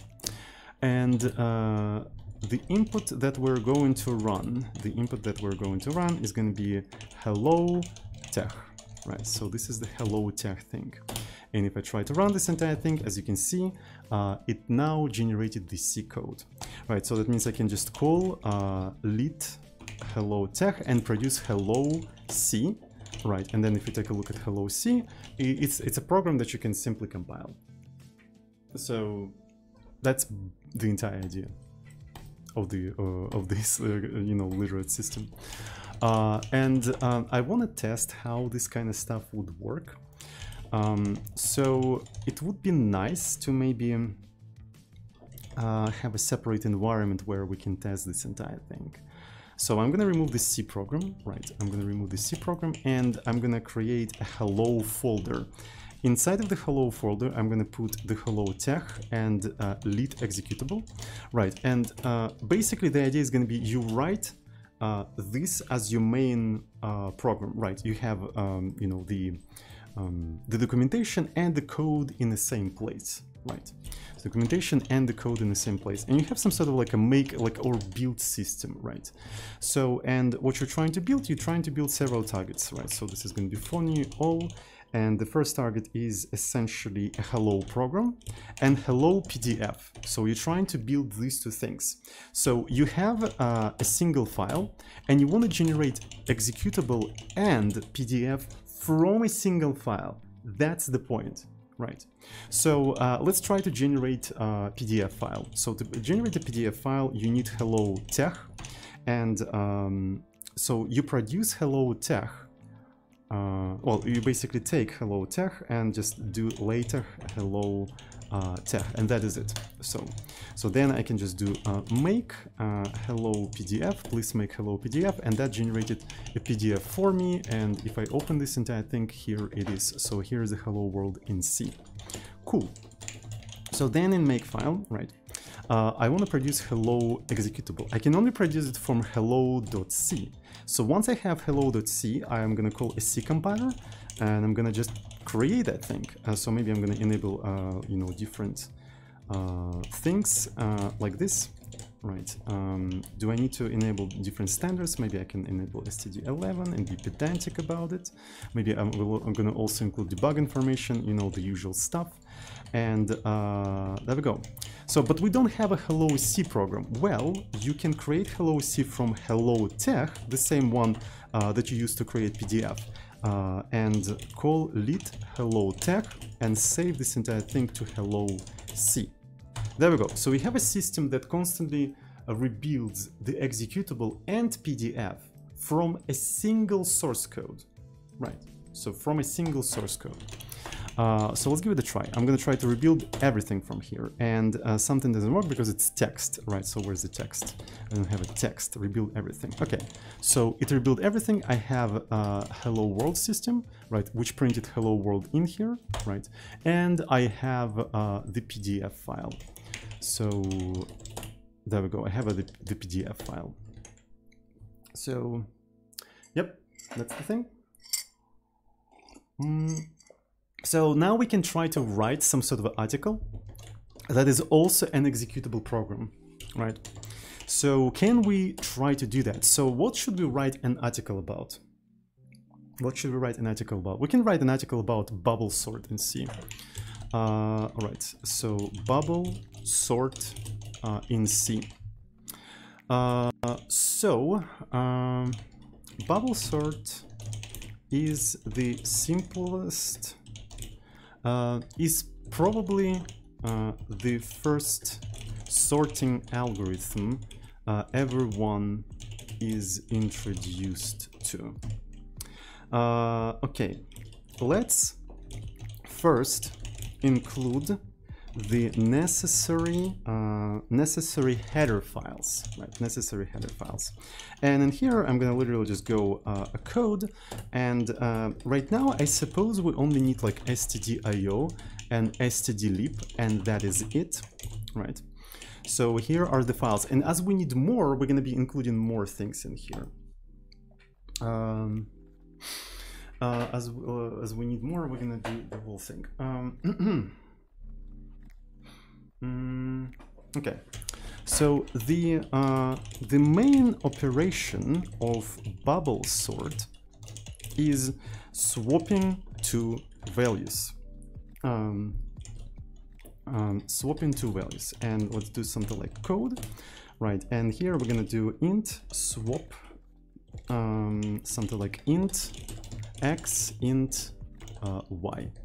Uh, right, so I wish it was a little bit less wonky, but it is what it is. Maybe if you had an editor with the support for this kind of thing, it would be a little bit easier to work with. Right, uh, then uh, we're gonna do something like x, y, and then uh, y is going to be equal to x. And we don't really need to return anything here. Um, okay, so there we go. Uh, maybe... Um, so maybe we can do something like here is the entry point, right? Here's the entry point and we can actually re rework this entire thing a little bit later, right? so it's gonna be, uh, oh my god. Emacs doesn't make it easier for me. One, two, three, four, return zero. Uh, there we go.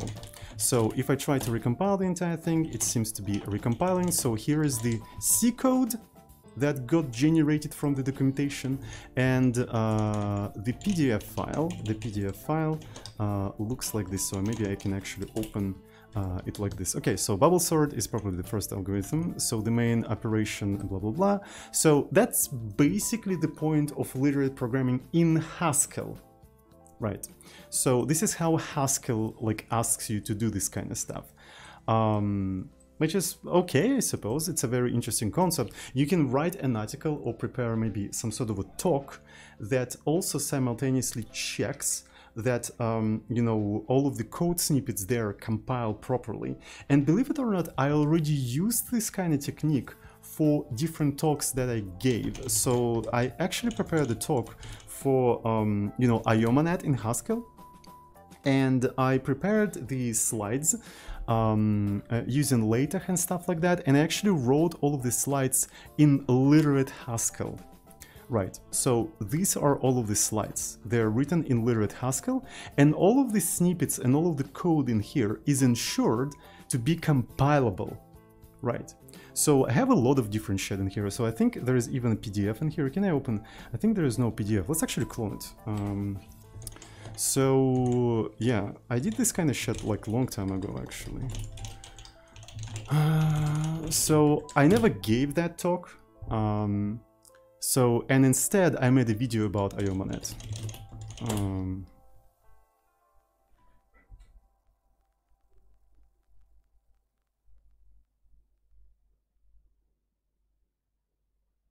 that's a lot of shit, by the way. So I think it just populates the index. It's needed for the the uh, the, the core stuff, right? For the uh, you know for the syntax highlighting. Okay, so and what this thing did, uh, I suppose it just compiled everything. So there is an O file and uh, everything. So, and also there should be a PDF file. Do we have a PDF file? There we go. We, we do have a PDF file. And uh, here are the slides, right? 2008, it was actually a long time ago, but yeah. So So, and here is me promoting myself and my HaskellRank series, and I explain uh, what is this kind of stuff.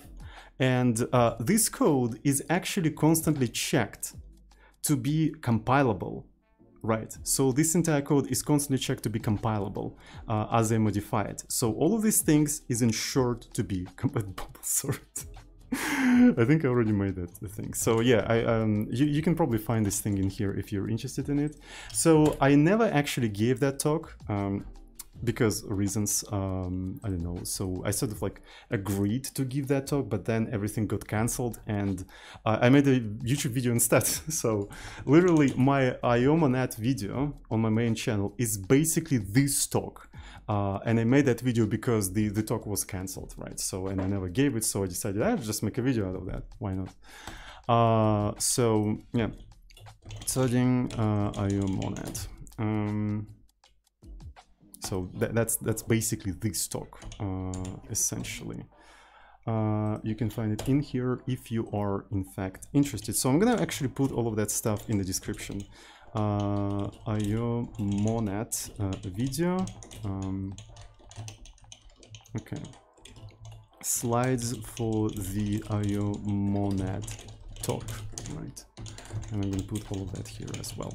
So, and I use the same technique. I use the same technique to prepare this kind of slides. So what I'm trying to do now, I'm trying to take that technique and make it more general because I believe like it doesn't have to be specifically Haskell thing because the whole process of taking this TeX file and converting it to a source code that is compilable by some sort of a compiler is actually pretty straightforward. It's not that hard. You just like comment out everything that is not a code and there you go. It, you see, th that's it.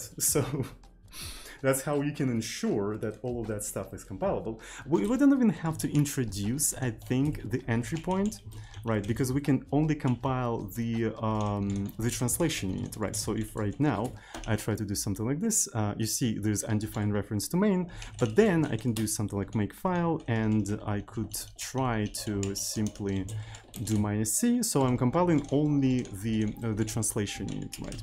So that's what I'm doing. Uh, and yeah, so it ensures that I didn't make any mistakes in here. So if I go to semicolon, right, um, the fact that I still have these comments in here, right, I still have these comments in here, makes it super easy for me to find this thing in here and fix it. It's still not particularly convenient. It would be kind of nice to sort of like have a system that redirects back into into this file, sort of like a source maps or whatnot but yeah it is what it is. Um, it is what it is. The main operation of bubble sort is swapping two values. Uh, so the easiest easiest way to remember how to implement it is um, when you uh, assign something to uh, the t uh, variable, right? How do, do I do like a verbatim but uh, in line one? I think it's something like verb and then I yeah, this is how we do that. So I can actually provide any sort of symbol in here, right? And it will just use that as a matching symbol for this thing, if I remember correctly, right? So this is how I can do this kind of stuff. If you assigning something to the uh, to the variable t, uh, like um, verb um, int t equal x, you are saving that thing, you're saving that thing, so uh, on the next line you can override it, uh, override it. Uh, verb uh, x equal y. So you see, uh, you can actually start with whatever variable you want. You have two variables x and y, and you want to swap them. So obviously you're gonna have like a temporary variable that involves uh, like that is involved in the process. So you can assign whatever uh, you want to this variable. Once you assign it, you know that you saved it. So now you can override it and be sure that you never lose it because you already saved it. Right, and then since you already assigned this thing, you assign the second one from the from the temporary variable. So and that way you can actually start with y, for instance, right? You start with y, and uh, you know that I already saved y, so I can overwrite y, and uh, so the only variable that I didn't assign is x, and I assign it back from t. So you can start from whatever like order you want, right? Just remember that if you save the variable, you can override it now, and you're not going to lose it. That's the idea, essentially. That makes sense. Makes sense. Hopefully. So uh, so you can override it and uh, and after that finish the process by assigning the second variable uh, something like verb uh, y equal t there we go. And if I try to recompile the entire thing and I refresh it, everything looks good. So maybe it would be uh, better to have some sort of like a bullet point list in here, right? So um, I forgot how to do that. It's something like environment items. So this is what I remember how to, um, uh, when you assign something to the variable t. Mm. Mm, this is what I remember how to implement it is mm, So this could be first item, right? So this is one item. Uh huh. Mm, uh, I don't know. Maybe maybe it's fine. I don't know. It's it's kind of a huge paragraph, but it is what it is. Uh, mm, okay. Um. All right. Uh, all right. Now let's implement the bubble sort itself, right? And this one is going to be essentially code. And who remembers how to implement the bubble sort? So uh, we're gonna start with a function that accepts array of integers, right? And since it's a C, we also have to pass the uh, the size of the array. So it's gonna be an exercise. Right, I wonder if this entire thing will compile. I think it will, because, uh, yeah, we, we already include stdlib, which includes size t. Mm, can you break apart your code block and use that as part of the text? I think so. I think you can do that. Um, so uh, let me see. So I can probably do something like this, and then this one is going to be something like begin. Uh, right, and I can have some sort of a text, some text here, uh, right? So then uh, some text there, uh, right? Some text here, some text there, and this is going to be begin code, and this one is going to be end code. Uh, yep, yep, yep. Um, and that should be fine, right? If I do something like this, some text here, some text there, and the entire thing compiles. And in the C code, it's gonna look like this right? So yeah, you can actually split apart. You can basically comment on each individual line if you want to, right? So yeah, because the idea is actually super simple, but I don't think we're gonna do it right now. Um, maybe. We can probably also have comments in there, but it's not particularly convenient. All right. So let's remove this entire thing. So this is going to be that. Uh, this is going to be that. Mm -hmm, mm -hmm. So, yep, yep, yep. Uh, mm, so bubble sort. So how we're going to be iterating through this entire stuff? So you we usually iterate first the length, right? So we iterate the full length, then smaller and smaller and smaller and smaller. So that means we're gonna do for i, um, and this is going to be well i mean mm, let's, let's let's make it int just in case so it's going to be exercise. We probably not going to include the last one. So it's going to be minus one. Uh, i greater or equal actually greater than one and then we're uh, you know, decrementing it.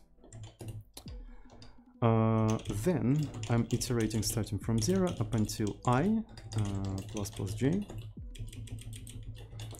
Right, and um, Emacs is extremely annoying. you definitely need a special text editor to edit this thing, that's for sure. Uh, if access i, uh, if access, I would say j is uh, greater than access j plus 1, we have to swap them. Right, we have to swap them. Uh, swap uh, access j access uh, j plus 1. There we go. So, uh, do I want... How can I test it? Is that it? I think that is it. So, do we need anything else? Um, mm -hmm, So let's try to recompile the entire thing and it seems to be working. So here is the bubble sort. mm -hmm.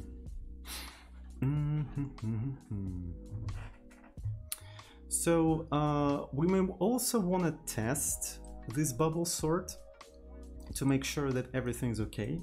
Um, so um, let's check if this bubble sort algorithm uh, works correctly. Um, let's implement uh, a function that can uh, generate generate um, like n uh, random uh, random numbers numbers for testing right? So maybe uh, n is going to be verb something like this. So and this is going to be code. Uh, and the function is going to be basically generate uh, generate and numbers. And we're going to accept the uh, the numbers themselves and like basically the n Right, and here's the interesting thing. So for the random, do we need to include some stuff for the random? Maybe not. I think it's it's part from stdlib. Mm, and add the output to the dock, that would be crazy. The output to the dock, maybe we could do that. So, but it's actually not really part of the uh, of the literate programming, I think. So it's more of a like a kind of a different thing. Mm, mm, mm, mm, so, all right. Uh, one, two, three, four. For uh, this thing, plus plus i. So x is i. Uh, rand um, mod max. Right. Uh, max um, x size. Right. Mm, mm, mm, mm, mm. okay, so max x size. There we go. And we'll probably need to define it somewhere. So. mm,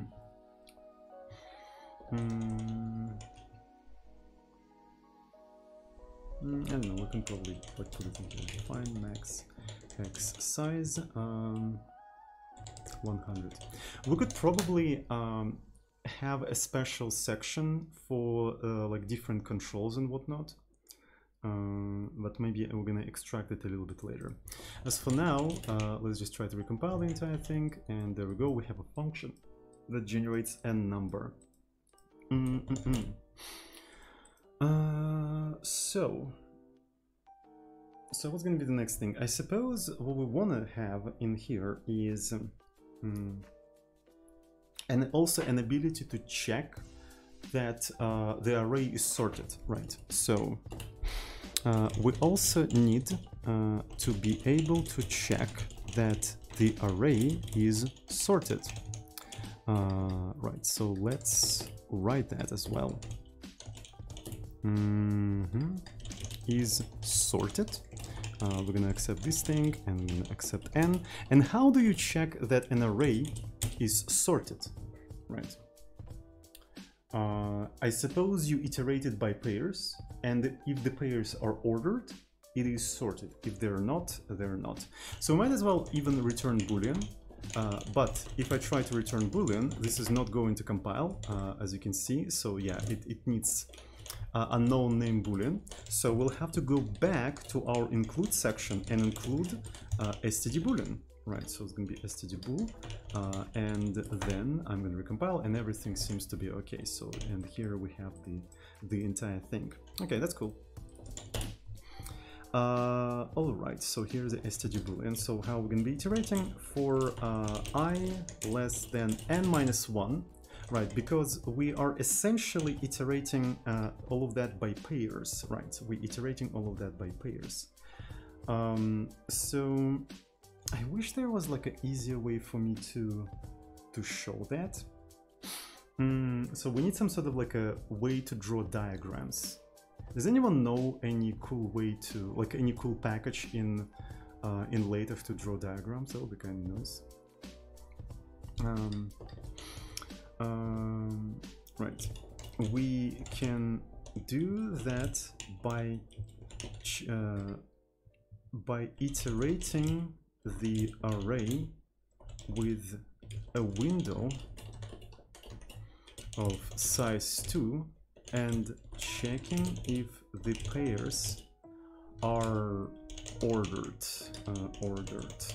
Right if the pairs are ordered so maybe we can put this stuff in here forest package before okay LaTeX forest so let's see Package forest, drawing trees. Uh, so the package provides a uh, based mechanism for drawing linguistic and other kinds of trees. Uh, so I'm not sure if it's gonna fit our goal, but maybe, maybe, who knows? I don't know. Doesn't feel like it will. Okay, so mm -mm -mm maybe I can put and uh, code in here and then begin in here. So, uh, right, uh, one, two, three, four, five, uh, six, um, right, so something like this. Mm, mm. So, mm, ordered. Then we can swap some of these things in here. Uh, and then the next thing is going to be just moving uh, to the next one. So then to the uh, next one and to the next one. Uh, uh, um,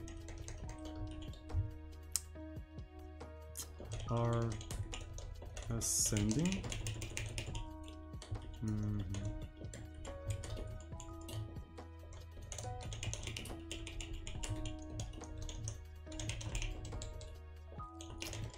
So that's hopefully that describes the process well enough. Uh, okay, so in here I'm gonna comment out this thing for now. Uh, yep, yep, yep. So yeah, that's basically how. Oh my god, it actually split it into several lines. No.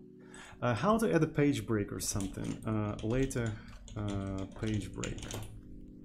Mm, mm, mm, mm, so I think it's literally page break.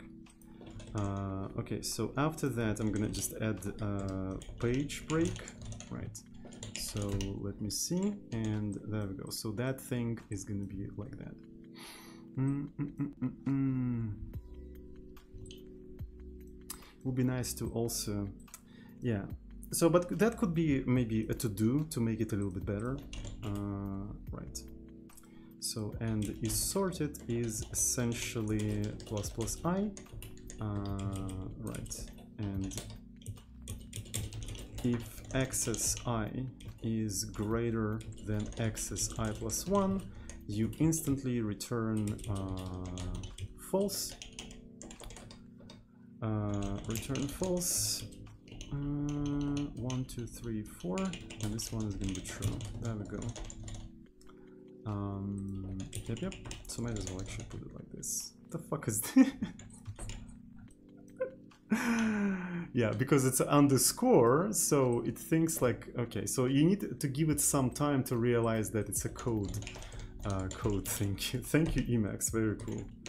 Uh, right, so, yes, yes, yes, yes. Yes, yes, yes, yes, go away, freaking this. So, is sorted. Um, okay, so the next thing we're gonna be doing, essentially, is... Um, so we, we can generate a random shit. Uh, we can also uh, maybe check if it's sorted or not. Mm -hmm. S to the power of orted. Yes, exactly. It's S to the power of orted. Uh, yes, yes, yes. Mm -mm. So latex. Um, um, how to say that? Because I want to be able to uh, to uh, somehow draw just things like that but in LaTeX itself. Like I want to draw this sort of thing and you know what I'm talking about? And I don't want to like do SVG or like my own things. Like I just want to do that within the within the thing itself but uh, I don't think it's possible right now. Like maybe I need a special package or whatever Mm, maybe I need a special package, but you, you get the idea, right? So you can write some sort of article or maybe presentation and you can embed these pieces of code and then you can have a simple tool that uh, can then turn that into the executable program, right? And uh, there you go, you can compile it and verify that it works correctly. So that's the system that I wanted to make, right? That's the system I wanted to make. And it turned out actually very, very simple. It's literally 100 lines of code. The entire thing that enabled me to just show you this thing is 100 lines of C code. Um, yep. So actually it's a little bit more because I used some of the libraries in here. So for string view library, which is uh, 300, three, uh, 250 lines of code. Um, right, so yeah. So the thing, how can we extend this entire program, right? Uh, if you make this thing, these two things, and this thing customizable for the user, you will be able to again mishmash different markup languages and programming languages. For instance, what if I say that the uh, begin, let's actually uh, put the begin and end to a separate like macros, right? So uh, begin line is going to be something like uh, begin code, right? So that's what we have here. So this is a begin line. So and the end line is essentially uh, something like this. So end code. And I'm gonna literally just replace them in here, right? So um, so this one is supposed to be uh, begin line, and this one is supposed to be end line. And the thing here is the comment, right? So uh, let's introduce something like uh, line comment, and this is going to be like this. Uh, so uh, line comment, boom. So now this thing is that for instance, what if I want to use not... Um, I mean, all of the modern languages use slash slash today anyway, but uh, not, not all of them. Uh, so here we have uh, LaTeX and uh, C-like, right? LaTeX and C-like. Just by switching this thing, begin line, I can say something like uh, Python, right? And end line is going to be like this and line comment is to be something like this. Now I'm working with Markdown and Python. Now I can integrate, I can do the same shit with Markdown and Python, everyone. Just by switching these two things. Uh, so let's actually try to recompile and see if we can do that. Uh, right, so um, yeah, that would be interesting. So hello dot uh, c uh, and uh, well, that one is actually really weird. So oh, because I'm actually looking at a completely wrong thing. Okay, so let's actually rebuild the entire thing, right? So and let's create something like hello uh, .md, right? So and let's put something like I don't know, uh, inverting binary tree uh, in uh, Python, right? So we're inverting binary tree in Python, and then I can have Python uh, and def invert, right? So we, where I accept the root, and then something like this, uh, actually pass, and then I'm gonna close the entire thing. Oh yeah, I forgot that my Emacs is very annoying when it comes to this kind of shit. So then I can do something like lit hello md, and it will basically comment out everything that is uh, markdown related, leaving only the Python code. So, and then uh, I can take MD, right, and I can convert it to, I don't know, so, so what, what's the good markdown converter? Uh, Pandoc or something, I think, and with the Pandoc I can convert it to, to some other stuff. You see, it only took, it only took changing three things and now I'm using a different markup language and a different programming language. And uh, we can try to take this thing and make them runtime parameters so we can have configs and you can say okay so this is my begin line this is my end line and this is my line comment. And this is like why I'm so surprised like why only Haskell has to be the language where it's possible right? Because the idea came from literate Haskell right? So literally Haskell doesn't do anything special to enable this kind of features. It's just literally very simple parsing and you can make a, like a general tool that just does this parsing for you. And that's what I just did. I, I just I just implemented the thing that Haskell compiler is doing and it's super fucking simple. And it works on more languages and more programming languages and more markup languages.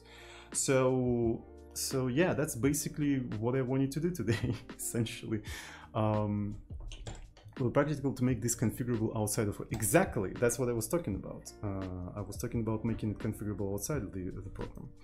So, uh, but I'm already streaming for two hours. Uh, I just wanted to show you guys that, uh, you know, such a simple concept can enable such powerful things and stuff like that. And also just share uh, how I used this thing before. Um, so, and I guess I'm going to go, right. So I'm gonna upload this thing on uh, GitHub at some point, and maybe at some point we're gonna make this thing configurable, right? So you could have like a configuration file or maybe via the flag parameters or whatnot. Um, oh, by the way, recently we're actually developed like a flag, uh, flag library.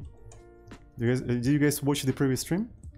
Uh, so yeah, I think that stream is not really available yet on yeah, it's not really available yet. Maybe it, it's going to be available in 20 minutes, by the way. So I scheduled it to, to become public in uh, 22, uh, at 22. Right, so it's going to be available in 20 minutes. Uh, right, so, and what we did on that stream, we re-implemented a Go flag module. Right, so it's to be Go flag. So it's a, it's a very cool module. It's a very cool module that is super simple and it just allows you to, uh, you know, parse command line arguments. We could actually just slap that module onto our program. Let's actually go ahead and do that.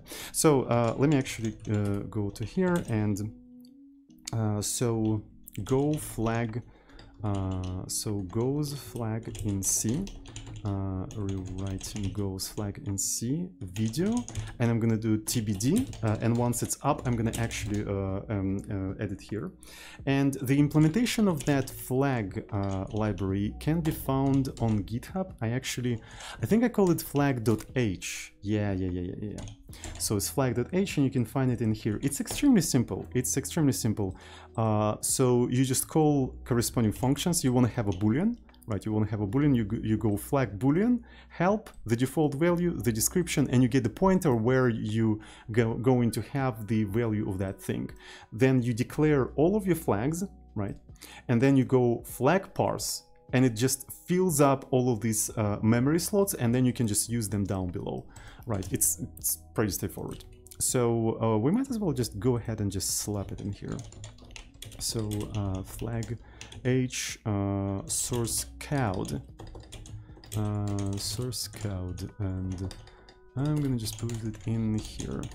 So and the whole implementation I think the whole implementation of this thing is like yeah uh, 250 lines of code. Like, as you can see, I like to write like these very, very small but powerful libraries that are like, like a couple of hundred lines of code, but they are powerful, right? So I'm collecting powerful ideas uh, like string view or flags or something like jim. I don't know if anyone remembers, but jim is, I think it's more than just a few hundred uh, lines of code right? Ah, well, it's also like a 400 lines of code. But essentially, it's a immediate mode JSON uh, serializer, which allows you to just take any uh, like a tree structure in C and just recursively traverse and just serialize it into JSON immediately without having intermediate representation and stuff like that. So you can you can find this thing in here. I really like collecting these like very small but yet impactful ideas, right? You know, something simple but impactful. When will you be making is even? Well, I mean, it's not that impactful. I don't think you need a library for that. So, uh, all right. So I'm gonna put this thing in here. Uh, JSON immediate serializer. Uh, maybe immediate JSON serializer. All right, so here is the flag. So let's go back to flag. Uh, mm, mm, mm, mm. Uh, all right, so wget, and I'm gonna actually be putting it in here, right? And let's include it uh, somewhere here. So let's define um, flag implementation. Uh. Um, I need to open this thing first. Mm, yeah, thank you so much. Uh, then it's to be flag.h. And here is the thing, I'm going to take uh, this entire stuff and turn it and turn it into uh, flags. Mm, so how are we going to be doing all of that? I think I could call this begin and and comment. So obviously begin is going to be a string, right? So this is going to be just a string then and well, all of them are just strings. Okay so i think that's that's fair to assume that all of them are just strings. Uh, yep. So and the next thing is going to be flag str so this is going to begin. The default value is going to be this and the description is So what's going to be the description?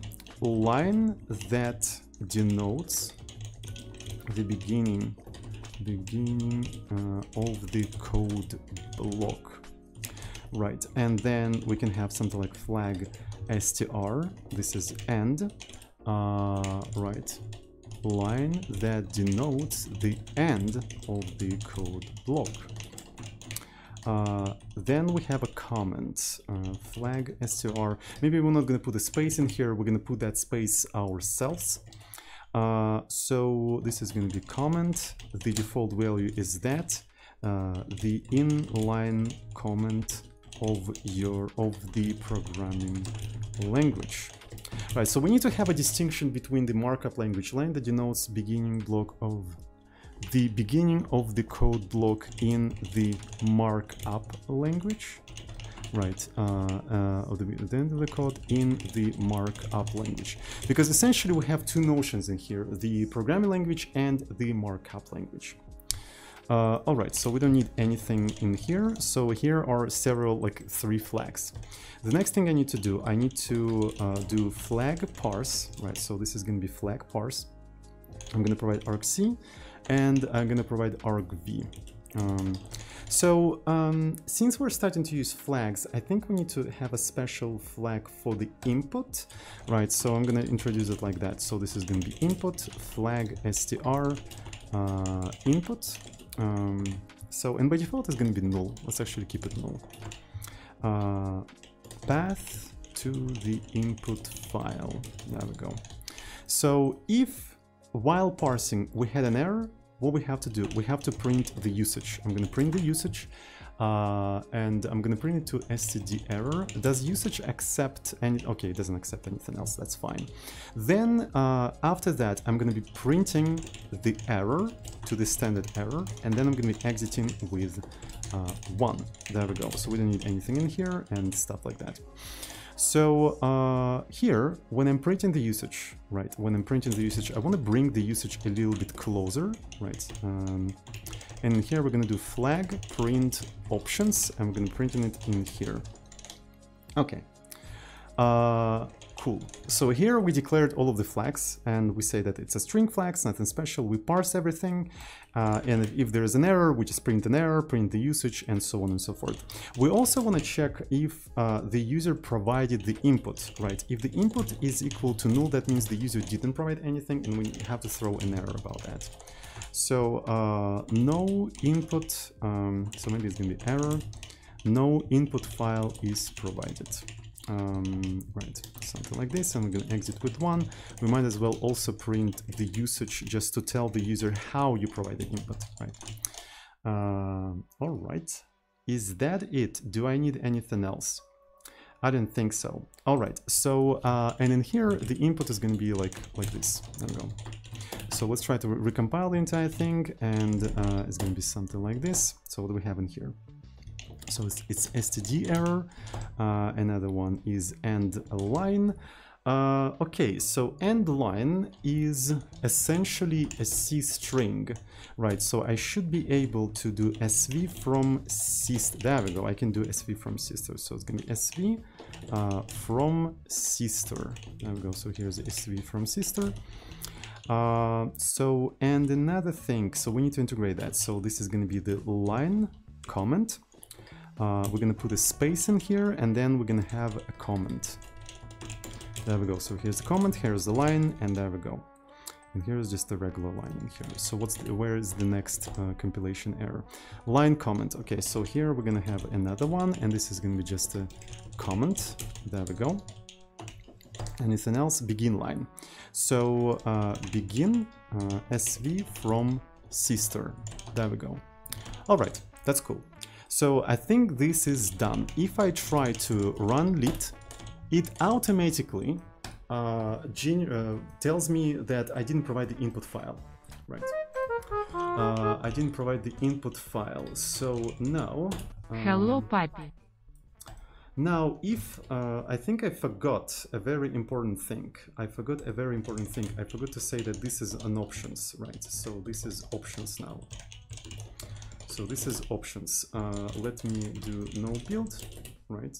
There we go. So this help this help, is generated by the flags library, right?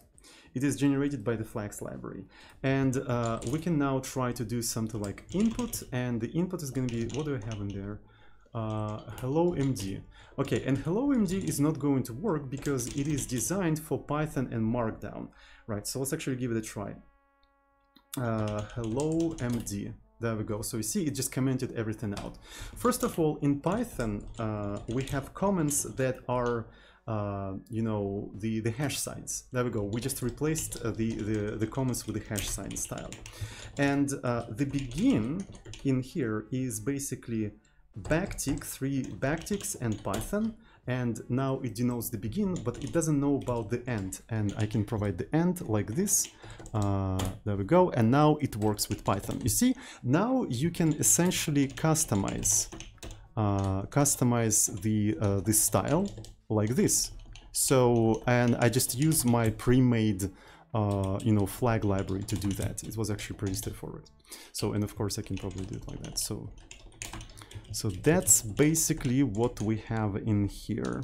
So, and this is almost production ready thing, right? So this is how you use it now. You provide the input, then you provide the comment style, then you provide the code begin and the code end, and it's customizable at runtime.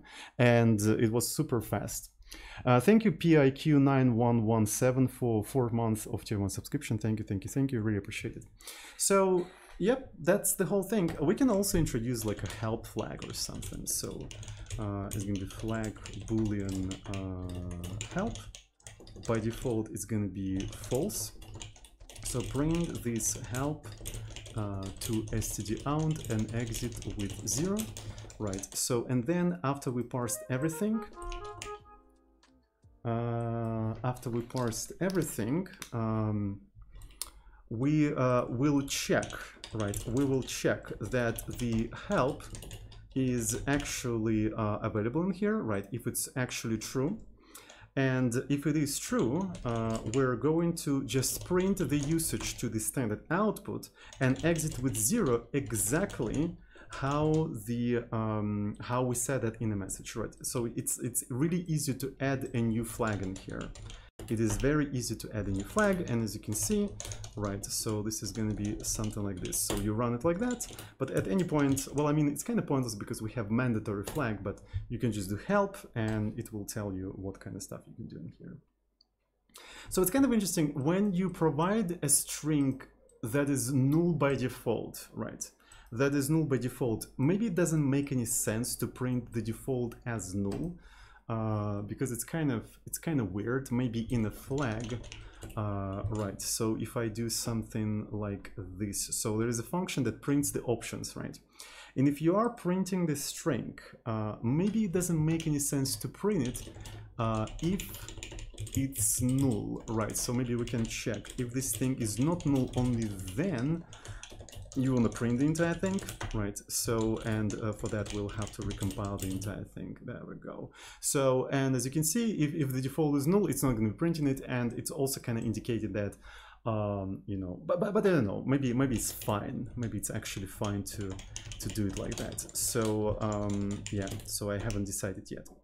Uh, so thank you PIQ9117 for five tier one subs gifted. Thank you, thank you, thank you. And everyone who got the subs, welcome to our epic literate programming club. Uh, all right. Does it extract code in LaTeX files? Uh, what do you mean by that? Uh, it so essentially, you probably missed the whole stream. You probably want to watch the stream from the beginning. But the idea is the following. You have uh, think like this, and what this entire system does, it generates file like this, commenting out everything that is not a code block, and then you can compile it as a program. So that's basically what it is. So you can generate the executable program and documentation to that program from a single file. So this entire thing, so this is some sort of an article but if you take each individual piece of code in this article and concatenate it together, it's going to be a working program that compiles and actually works. So while you're writing this article, you can constantly rebuild your entire thing right? You can constantly rebuild your entire thing and uh, make sure that all of your code examples actually compile. And then you can distribute the like both the article and the source code. So that's the idea. And the idea is to actually make it work for any markup language and for any programming language. So that's basically the idea. Um, so does it make sense? So, and that's precisely what we did already. So, yep. Mm, that's precisely what we did. Uh, so maybe the time has come to maybe, um, I don't know, test that somehow. Uh, it's kind of hard to tell. So I need to, I need, to, I want to upload this entire thing to uh, to GitHub, but it's like a little bit messy right now, and I'd like to have a little bit more examples and whatnot. So uh, I'm not sure. It's kind of difficult for me to decide what I want to do with this kind of stuff, if you know what I'm talking about. Because uh, here we have other examples, like I will also want to include this hello example as a demonstration of how to use this entire thing. So I'm, I'm going to start with just, you know, including only this stuff. Um, do I want to do a nobuild? Let's actually not include no build. I'm going to remove nobuild and I'm going to just leave like a make file. Uh, right, so it's going to be simple make file because I feel like later is going to be easier to integrate this entire stuff. Uh, WAll, W extra, STD C11, uh, pedantic, uh, pedantic GGDB, right, and then we're gonna have lit main.c, and it's gonna be cc, c flags, o lit main.c, right, and, um, okay, so, um, mm, mm, mm, so I'm probably gonna be including, so this is gonna be bubble, right, so this is gonna be bubble, uh, and uh, I'm going to include this entire thing in here right? So this there's this stuff uh, yep yep yep and there's foo.c foo.c um, there's a lot of shit in here that I don't really want to include so let's create src folder and I'm gonna put everything into src folder that is related to this thing uh, right in the make file. So this is src and this is src uh, all right so this is make uh, and that created lit and then with lit you can do input uh, bubble right and it produces that thing. Okay. Uh, so readme uh, well first let's actually release it under MIT license. There we go. Readme -huh simple uh, literate programming system. Uh, quick start uh, is going to be console. You do make, then you do lit input uh, bubble teh bubble.c. Uh, then you do cco minus c bubble.c and then you do ptf later bubble.tex. Okay, so um, uh, inspired by the literate literate Haskell. So, and I'm gonna give the link to the literate Haskell in the readme. Oh, come on, don't be so slow. Okay, there, there we go. Quick start. Mm.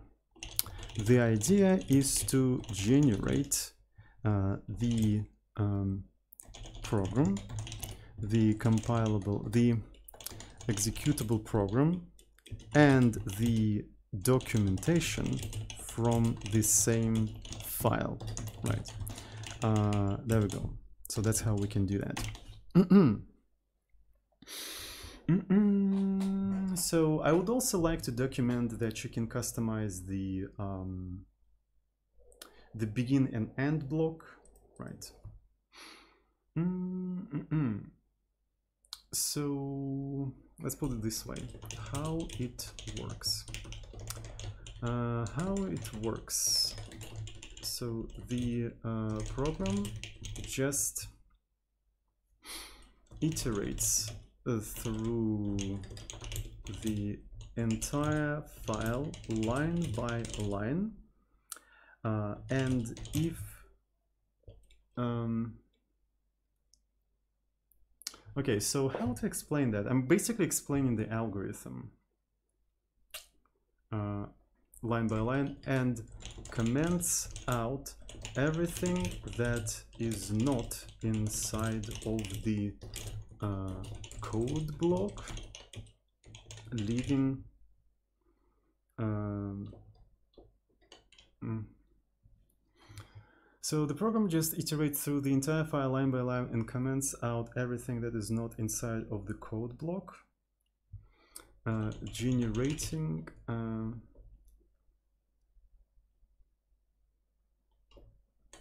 so the final the final result can be passed to a compiler or an interpret interpreter.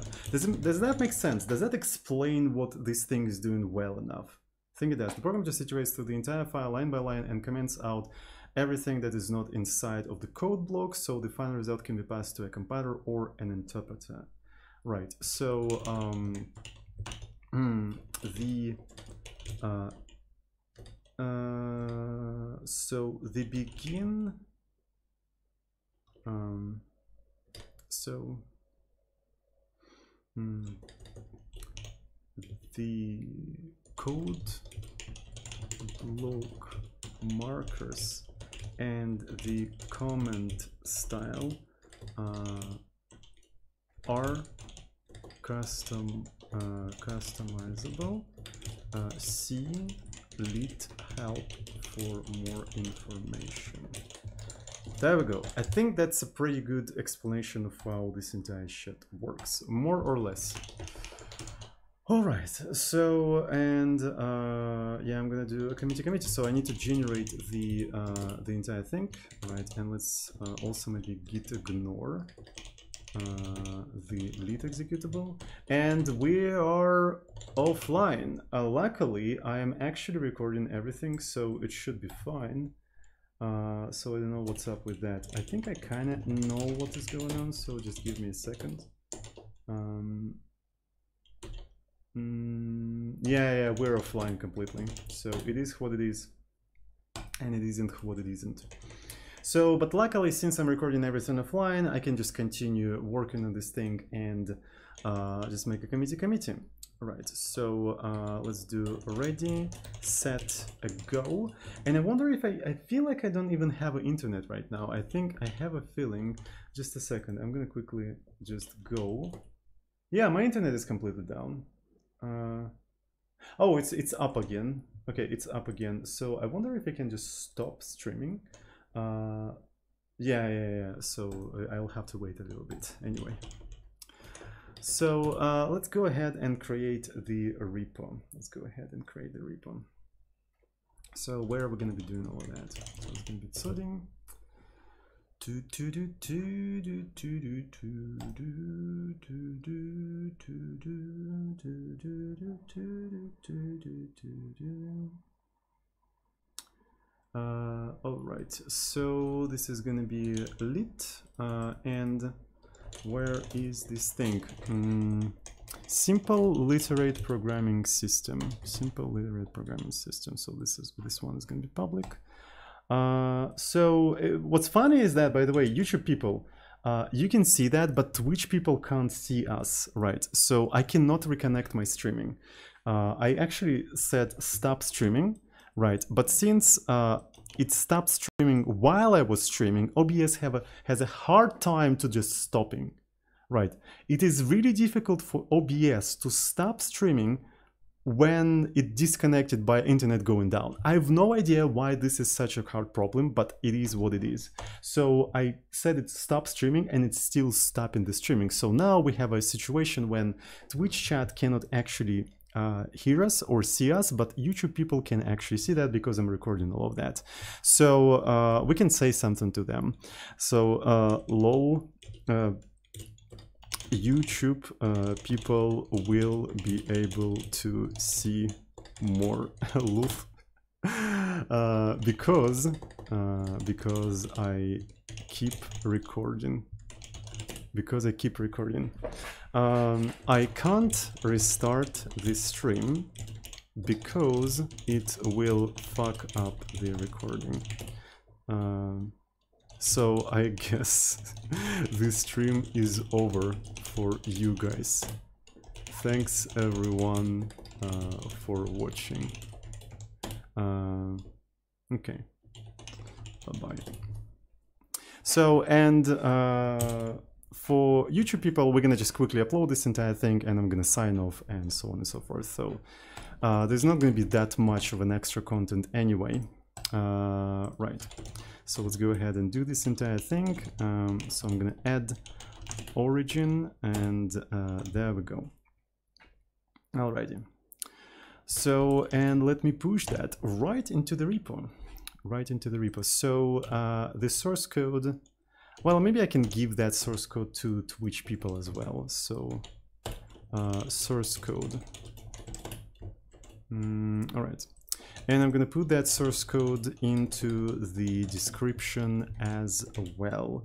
Source code uh, like this. And maybe I'm going to put it like here or whatnot.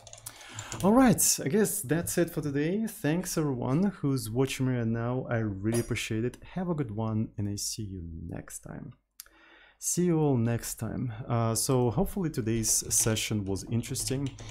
Uh, and maybe we're gonna turn eventually this entire thing into something something usable and maybe I'm gonna use this kind of thing for different explanations and whatnot in the future. But until then, uh, I see you all next time. Love you.